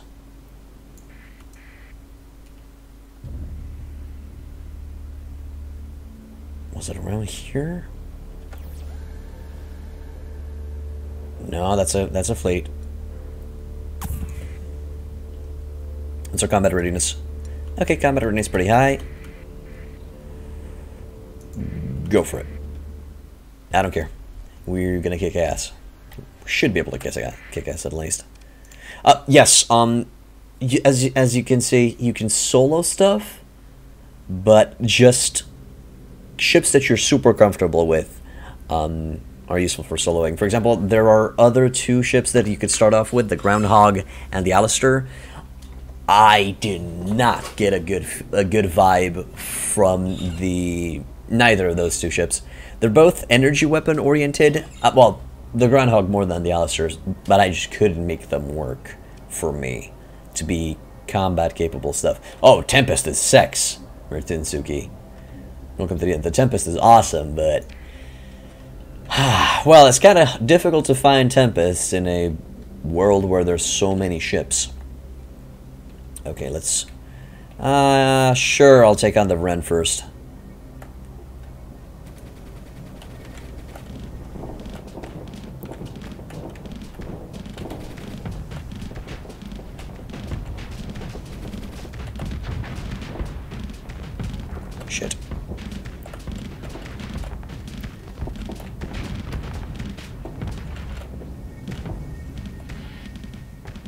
Really, that little thing started firing. Alright, little shit. Let's dance. And... Oh my god, seriously? No! Get it! I would have been so pissed if it managed to get away. And now it's time to take out the the Ren. By the way, I consider the Ren to be a baby Tempest, to be honest. But just subpar. Come on, good. And now we finally got to deal with Cerberus. Okay, Serby. Whoa there, bruh. bruh, bruh. Oh, really? It's a Cerberus with a shield. Or is that not a Cerberus? Oh, shit, we're, we're dying. I, there's no time to discuss what it is. There you go. That's what a Sabot does, just overloads shields like it's nobody's business.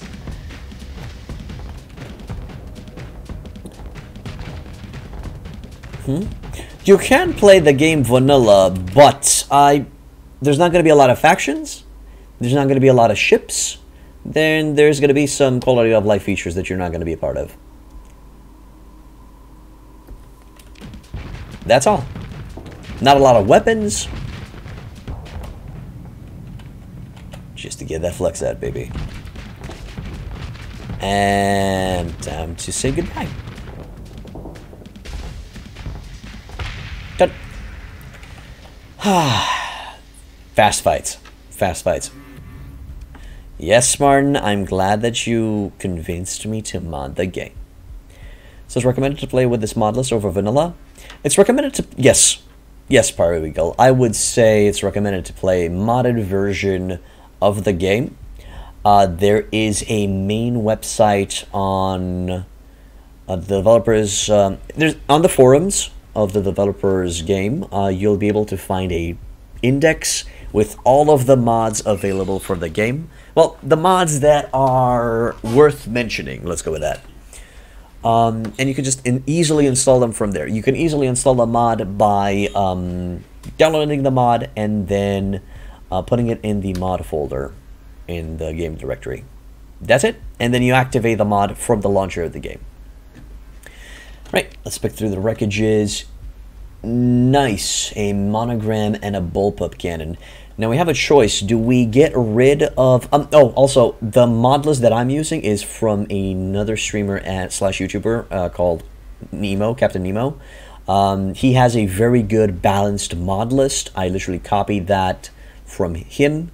Uh, so the credit goes from him. It's a good balanced mod list in the sense that it provides a lot of uh, lot of uh, factions and it keeps the game immersive and in the same style. And yes, many mods make it into the base game simply because the developers keep an eye on them and they find them cool. Uh, two monorail, monogram railguns are ready to be taken. That's cool. Destroy that dude. More money. Suddenly not a lot of loot. Oh, shit. Go. What? Ah! Sure, mate. Sure. Yeah, I'm fine. I'm okay against those little guys. And I think there are two red arrows. That is a... Brightwing. What? No? No, it's a fox. It's a fox. It's not a Brightwing. Okay, fox. Time to go bye-bye. Oh shit, that's that's a salamander. Ah. Ah shit, no, it's getting away. You ain't getting away, bruh. You gotta go. Keep the DACA up. There we go. Ah, shit. That salamander deactivated my left side. We're going to stay away from it until my left side comes back online. There we go. It's back online. You saw the little notification. And now take it out.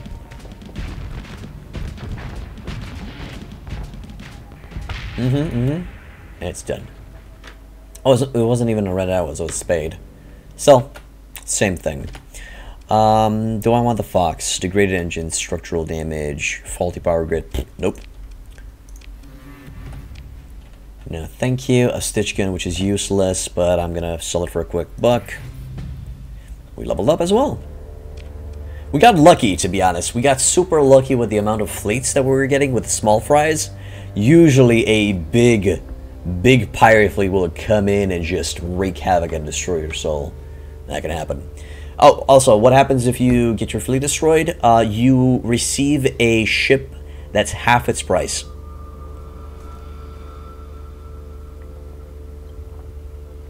But I think you'll usually always, um, when you don't have a big big fleet, you'll always receive a, a Wayfarer, I think.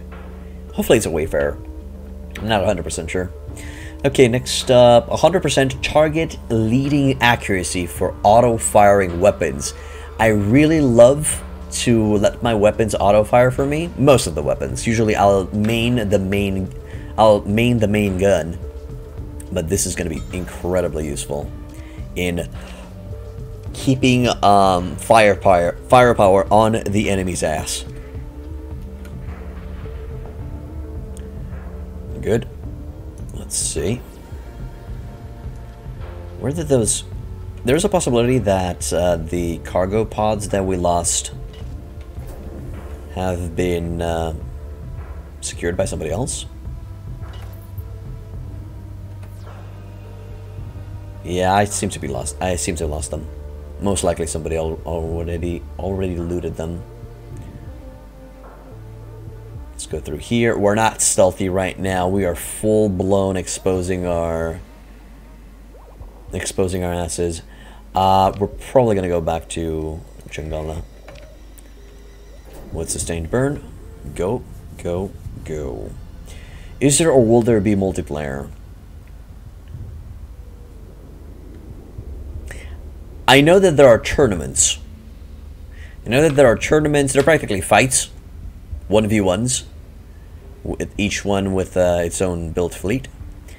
I'm not sure if it's in vanilla multiplayer. Yeah, okay, there it is. Co-op multiplayer mod. Wait a second. Co-op multiplayer, as in you can play co-op and single player? Problem Official? Welcome to the end. That's awesome. Oh, it's local multiplayer. That still can work. Can you can you run it with a controller or something? Approach the guarded man and take a seat at his table. I'll I'll check what that is in a second.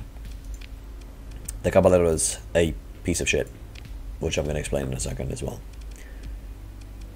The Cabal is a minor faction of high-tech thieves.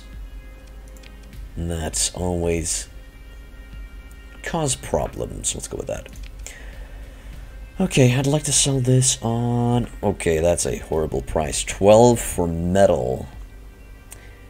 Show me a better location to sell this, please. Uh, Cerberus or Scorn. Scorn's a hostile. Nah, it's not worth traveling that far. Friends take control of a ship of yours, like in Warband multiplayer mod? Yep, pretty much, Solarax. That go bye-bye. I can stay. The monorails can stay. Uh, do you guys have monorails here? Monograms. Monogram railguns. I, I call them monorails. I know it's wrong, but it's so right. Uh, Swift SRM launcher. Actually, no. Abort? I might be able to sell that better at the independent world to the south. We'll test that out. Just test. No, can stay, can stay. Stitchkin can go. Um, I'll go up to 15 heavy machinery. That should be fine. Oh, what? I can check out the hegemony military now? What's my relation with these guys? Uh, the Atlantic profile. Hedgy. No, that's not how I check. Where? Map, maybe? Intel. Planets, factions. Ah, there it is. Okay, we're currently at favorable with the hegemony. That's great. That gives us access to their uh, basic military hardware. What do we got here? Hammer barrage. Oh yeah, you can get to some pretty big and heavy weapons in here. Also, this is a um, heavy armaments are are they used for um, invading planets? I'm not 100% sure, but as I understand, they're just trade goods. And an Anaximander MRM launcher, that would be cool. As many rockets as you want. Mining blaster, Manticore cannon, degraded particle streamer, meh. Um, guess it has a lot of machine guns in the area. Ah, once we get some rep, we're going to be able to get this good stuff. Ah, blacksmith MRMs are meh. Oh god, that is the love that is what I want so badly. Integrated targeting unit. Extends the range of ballistic and energy weapons by... Mm, cannot work in conjunction with dedicated I don't care. Uh, some mods let you use them in invasions or to restabilize revolting, revolting planets. Cool. Makes sense. Makes sense to me. Whoa there, Nilly. Did they, did the month end and they switched weapons? I think they did. Purple Milk, Milk Official, thank you for becoming a follower, my dude. Welcome to Hit Point Inn. Ultra Auto Cannon, Auto Pulse Laser. This is a very, very powerful weapon, but also super flux hungry. But this this is practically the laser DACA. High intensity laser isn't that impressive. Okay, man, thanks. Lightning gun, horrible versus shields, but pride destructive against hull and armor. Uh, or is it just for hull? Long range tactical weapon that trains flux efficiency for unmatched accuracy. Cannot be dodged. It says general, but I didn't really see it do very good against um, do very good against shields. Oh, wasn't Autopulse not Flux Hungry, but Charge Limited? Autopulse? Um, yes. It Well, it's still a little bit of Flux Hungry. I mean, it's still a 1,250 sustained fire. Uh, 250 per round, I think. I'm not really sure. Uh, it does have a limited amount of ammo, but it recharges the ammo. So practically it has a strong alpha strike, and then you wait for it to recharge it up. So, very, very destructive on a Sunder, for example. Which is, think, one of the most famously player-manned uh, destroyer ships. Everybody likes a good Sunder. Not as bad as the plasma cannon. Um, are you referring to the lightning gun, Purple Milk, or did you switch to the conversation about the auto pulse laser or the high intensity laser? But yeah, I think they restocked. If they restocked, that means they might have new ships for us. Let's see. We don't really have that much. Nope. Never mind. Oh, right. These are some of the bigger ships that you can get in the game. Capital class big boys.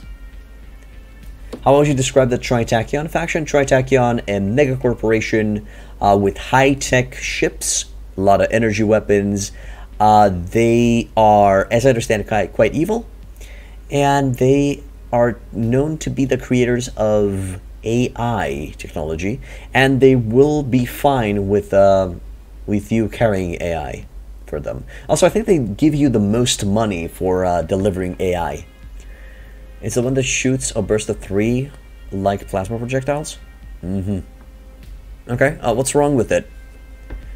Oh, thanks to the flux. All right, we were talking about flux-hungry weapons. I understand. Yeah, some of the big boys are here. A tremor. Is that kind of like a hammerhead? Relevant. Hmm. 300% bounty value for AI cores at Tri-Tachyon Worlds. Amazing. Uh, they don't care about if you don't care about rep and you just want to want to go for the money, then yeah, you if you find an AI core and you don't need it for your own personal gains, you bring that puppy to to try again. Uh, I don't think I have the mod. So this Starliner is kind of meh on its own. Um, it, this is the biggest ship that you can utilize to carry out around troops. There is a modification to the Starliner called the Deep, the Deep Tide, I think it's called. Oh no, or High Tide, either Deep Tide or High Tide, which is just a insanely stupid missile boat. Um, just has all of the goddamn missile slots on it, and you can use it as a missile boat. It's amazing, but I don't know in which game it is. Uh, produces the strongest and also most expensive to run ships, at least in the base game. Uh, yeah, as I said, they have high-tech ships. Hey, I can buy a rock hound from the goddamn hegemony military. That is bullshit. We really want to get get that stuff up. Never found a Foka yet useful. Okay, let's see what do we got here. Vigilance, meh. Scrapper frigate. I need I need some uh, some Daka, to be honest. Uh, let's see what this dude wants. Approach the guarded man. Um, approach the guarded man and take a seat at his table. He sticks his hands out, which you shake in a businesslike manner. The man introduces himself as Fire Angela when you exchange greetings. It seems my intuition was correct, Captain Fiddlebottom. You are just the man we needed, he says, smiling broadly. You give him a look of suspicion to which he responds, You're not in any trouble, Captain. I'm with the International Bounty Board. IBB for short, an organization com uh, comprised of officers sponsored by the Hegemony, the Independence, and the Persean League, the Imperium, the Shadow Yard Reconstruction Authority, Tiandong, and the Alliance. We track a number of dangerous individuals throughout the sector, and when they get out of hand, he tips his head respectively, that's where you come in. You express incre incredul incredulity uh, to the IBB agent, who scoffs and puts his hands out in a placating gesture. You'll be rewarded, of course. He reassures you before leaning in and whispering, and you'll have a shot at some rather unique ships. So practically this dude is going to give us a unique bounty that will go out and hunt down for a lot of money and some interesting ships. You want to try your first single frigate start? Can you recommend me an interesting starting faction with Nexerelin? Uh, Tiandong's awesome. Um, who else? Um, Diable Avionics. Um, any other interesting stuff? Um, who, who are the French guys? They have some awesome weapons. Oh, Imperium. Imperium has some amazing weapons. Uh, but yeah, you'll have to add them through the mod. Sorry. I've been playing Diable Avionics, and you always have like 300 plus crew lost per battle because the Wanzers each hold like 5 pilots for some reason. Whack. Align with the Ludic Path? No, Eric Nader, you align with the Ludic Path. Oh yeah, Blackrock's pretty cool. Shadow Yard is very awesome. They have some interesting, unique ships. Um, what else? Hmm. I really, really want to try the Celestial Mount, guys. I really want to see their their ships in action eventually. Fire leans back and brings his hands together in Scholar Cradle. Now, let's get down to business. Your first target is Francis Butler, known to possess a ragtag fleet of renegade pirates. The primary danger is Butler's pair of unique lashers, which he has put to devastating use raiding supply lines. Also, these uh, these are unique. They will always spawn in all of your playthroughs. These are unique targets that you're going to be facing and finding in the world. Um, they're not randomly generated, for example. You'll always meet Francis Butler, for example. He hands you a modest he hands you a stock tripad with an estimate of the target's modest fleet, uh, depicting a grim outlook. He gives you a sympathetic look, saying, "I know this is a deadly task, Captain, but we believe you can take this. you can take Francis Butler down if you put your man to it." Also, over here, it's um, practically the colored side is going to show you how will you currently fare against this target. With our one ship and our freighter, we're going to have a bad time. So that's it. The reward is 53k, paid on completion, and we will accept that. This is a type of quest that will never go out. You have unlimited amount of time to do this quest. Okay, let's go to Asharu. Hopefully we can sell some stuff there. Uh, the Blackrock Stargate Frigate is a missile boat. Yeah, okay. Welcome back, Martin. What's up? Um, not to the concerted man and walk over to his table. Uh, the concerted man is always a transport contract. They will give you a certain amount of units of goods. You decide if you want to do the quest or just take the penalty hit, the reputation penalty hit, and keep the goods for yourself and sell them somewhere more profitable. It's your choice. Uh, walk over to the shady person. This is an agent that you will utilize, as I understand, in the faction stage practically think of, think of it as the agents from Total War games, where they go in and sabotage and assassinate and stuff like that. As I understand, haven't used the one yet. Um, I'm gonna check out the Concerned Man quest, but not yet. Let's see what they got. Bongos up the ass. Damn, I'd, I'd love to grab some bongos, but I'm kind of low on cash. How much for a bongo? 360 It ain't that expensive. That ain't that bad. Why the sheriff's 18%? Uh, no, no, no, no. You know what? I'll take the black market hit just to get some extra money. Okay, and anything interesting on the black market? That's interesting on the black market. Your expense for contracts may very well consider the price unless you come upon a station in dire need of the items. You should probably just do the mission. Uh, true, Martin. Uh, they do very well, uh, but once you have a big fleet, they you practically outscale the contracts. You don't really find that well paid contracts. That's it.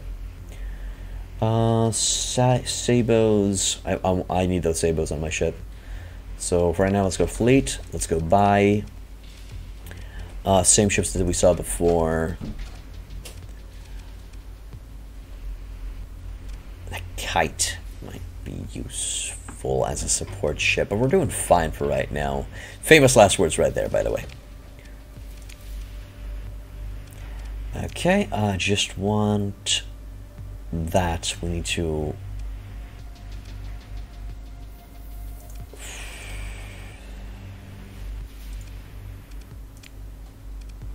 Am I using that? Hmm. Trading with pirate stations is also profitable. It is. Uh, problem is, I think I kind of pissed them off with my transponder on. So I'm not sure if I can sneak in with my transponder off to do business with them. Uh, just do black market smuggling. Pays way more. And if you're knotted, they add a more reasonable tax. I can? Okay. Okay, so it's still... Uh, the, I'm not going to go hostile. Alright. Uh, do I want the three sabots? Guess they can come in handy as a saving my ass moment. But we're going to be producing more flux. Nah. Nah, nah I'll, I'll keep going like this. Anything else that I want to try out? Monograms.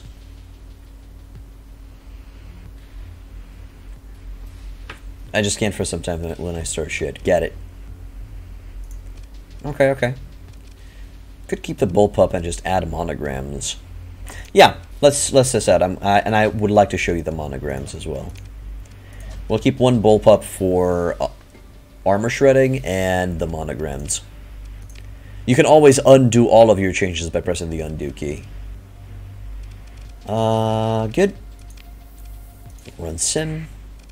Oh, wait. I forgot to add the excess ordinance points. Yeah, we have an extra ordinance point. Let go with Venti the Vent Vent. Run think we have too much venting on it, but it should be fine. That should give us some sustained firepower. Okay. Sell the guns and direct the terrorists. It's almost as profitable in the game as in real life. That's great, man. That's great. You're a... Oh, right. We have... Uh... I forgot that we have uh, um, safety overrides. I gotta turn safety overrides off so we can take advantage of the 1000 range on the monograms.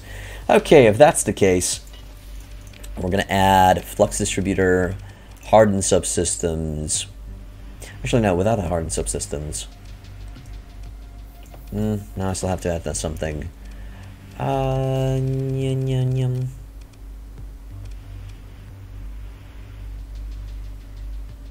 Hardened subsystems for now.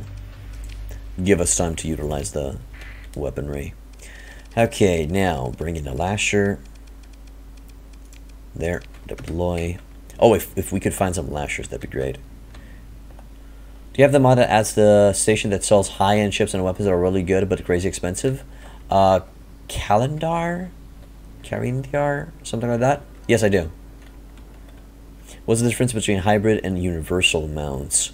Now, that's a question that I'd like to know as well. There we go. Now, the good thing about the monogram... Oh! Careful, bruh. Careful. Is that we can maintain a distance from the enemy. And we're slowly suppressing their armor. Eventually, they're gonna have they're gonna be forced to turn off their shields, and we're gonna start doing hull damage, like right now. Hybrid only does two or three, and your reversal does all of them. Okay? Synergy are energy plus missile. Hybrid are missile plus ballistic. Oh, righto. Yeah, I could never get that down. Yeah, the only problem with this weapon is they can't really put in the good dent in. Unless I get get close with my bullpup. So yeah, our killing potential goes way, way down. Nah, I don't care. That's a, that's a desperation. That's a desperation salvo. So you'll slowly, slowly whittle them down. That's why it's a good idea to add the subsystems as well. Um, ballistics and missiles all the way, baby. Uh, I tend to agree. Although a Tri-Tachyon lance is sexy as fuck. If you have the flux to do it, to use it. Nah, we're, we're killing enemies too slow. Undo that shit. We're gonna keep on this setup. Yep, I'm ending it right now. I lost the track of time. I was having fun. Okay, uh, that is gonna be it for today. We're gonna save and exit, and we'll uh, check out that transport contract next time. So, um, hope you enjoyed.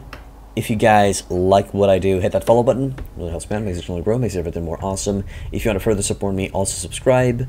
If you're on YouTube, I have multiple guys and playthroughs that you guys can check out. Uh, most of the I think all of my guys are from Mount & Blade, but I do plan on making a guide for Starsector eventually as well. And uh, that's it. Wish you boys and girls a wonderful day. Bye bye.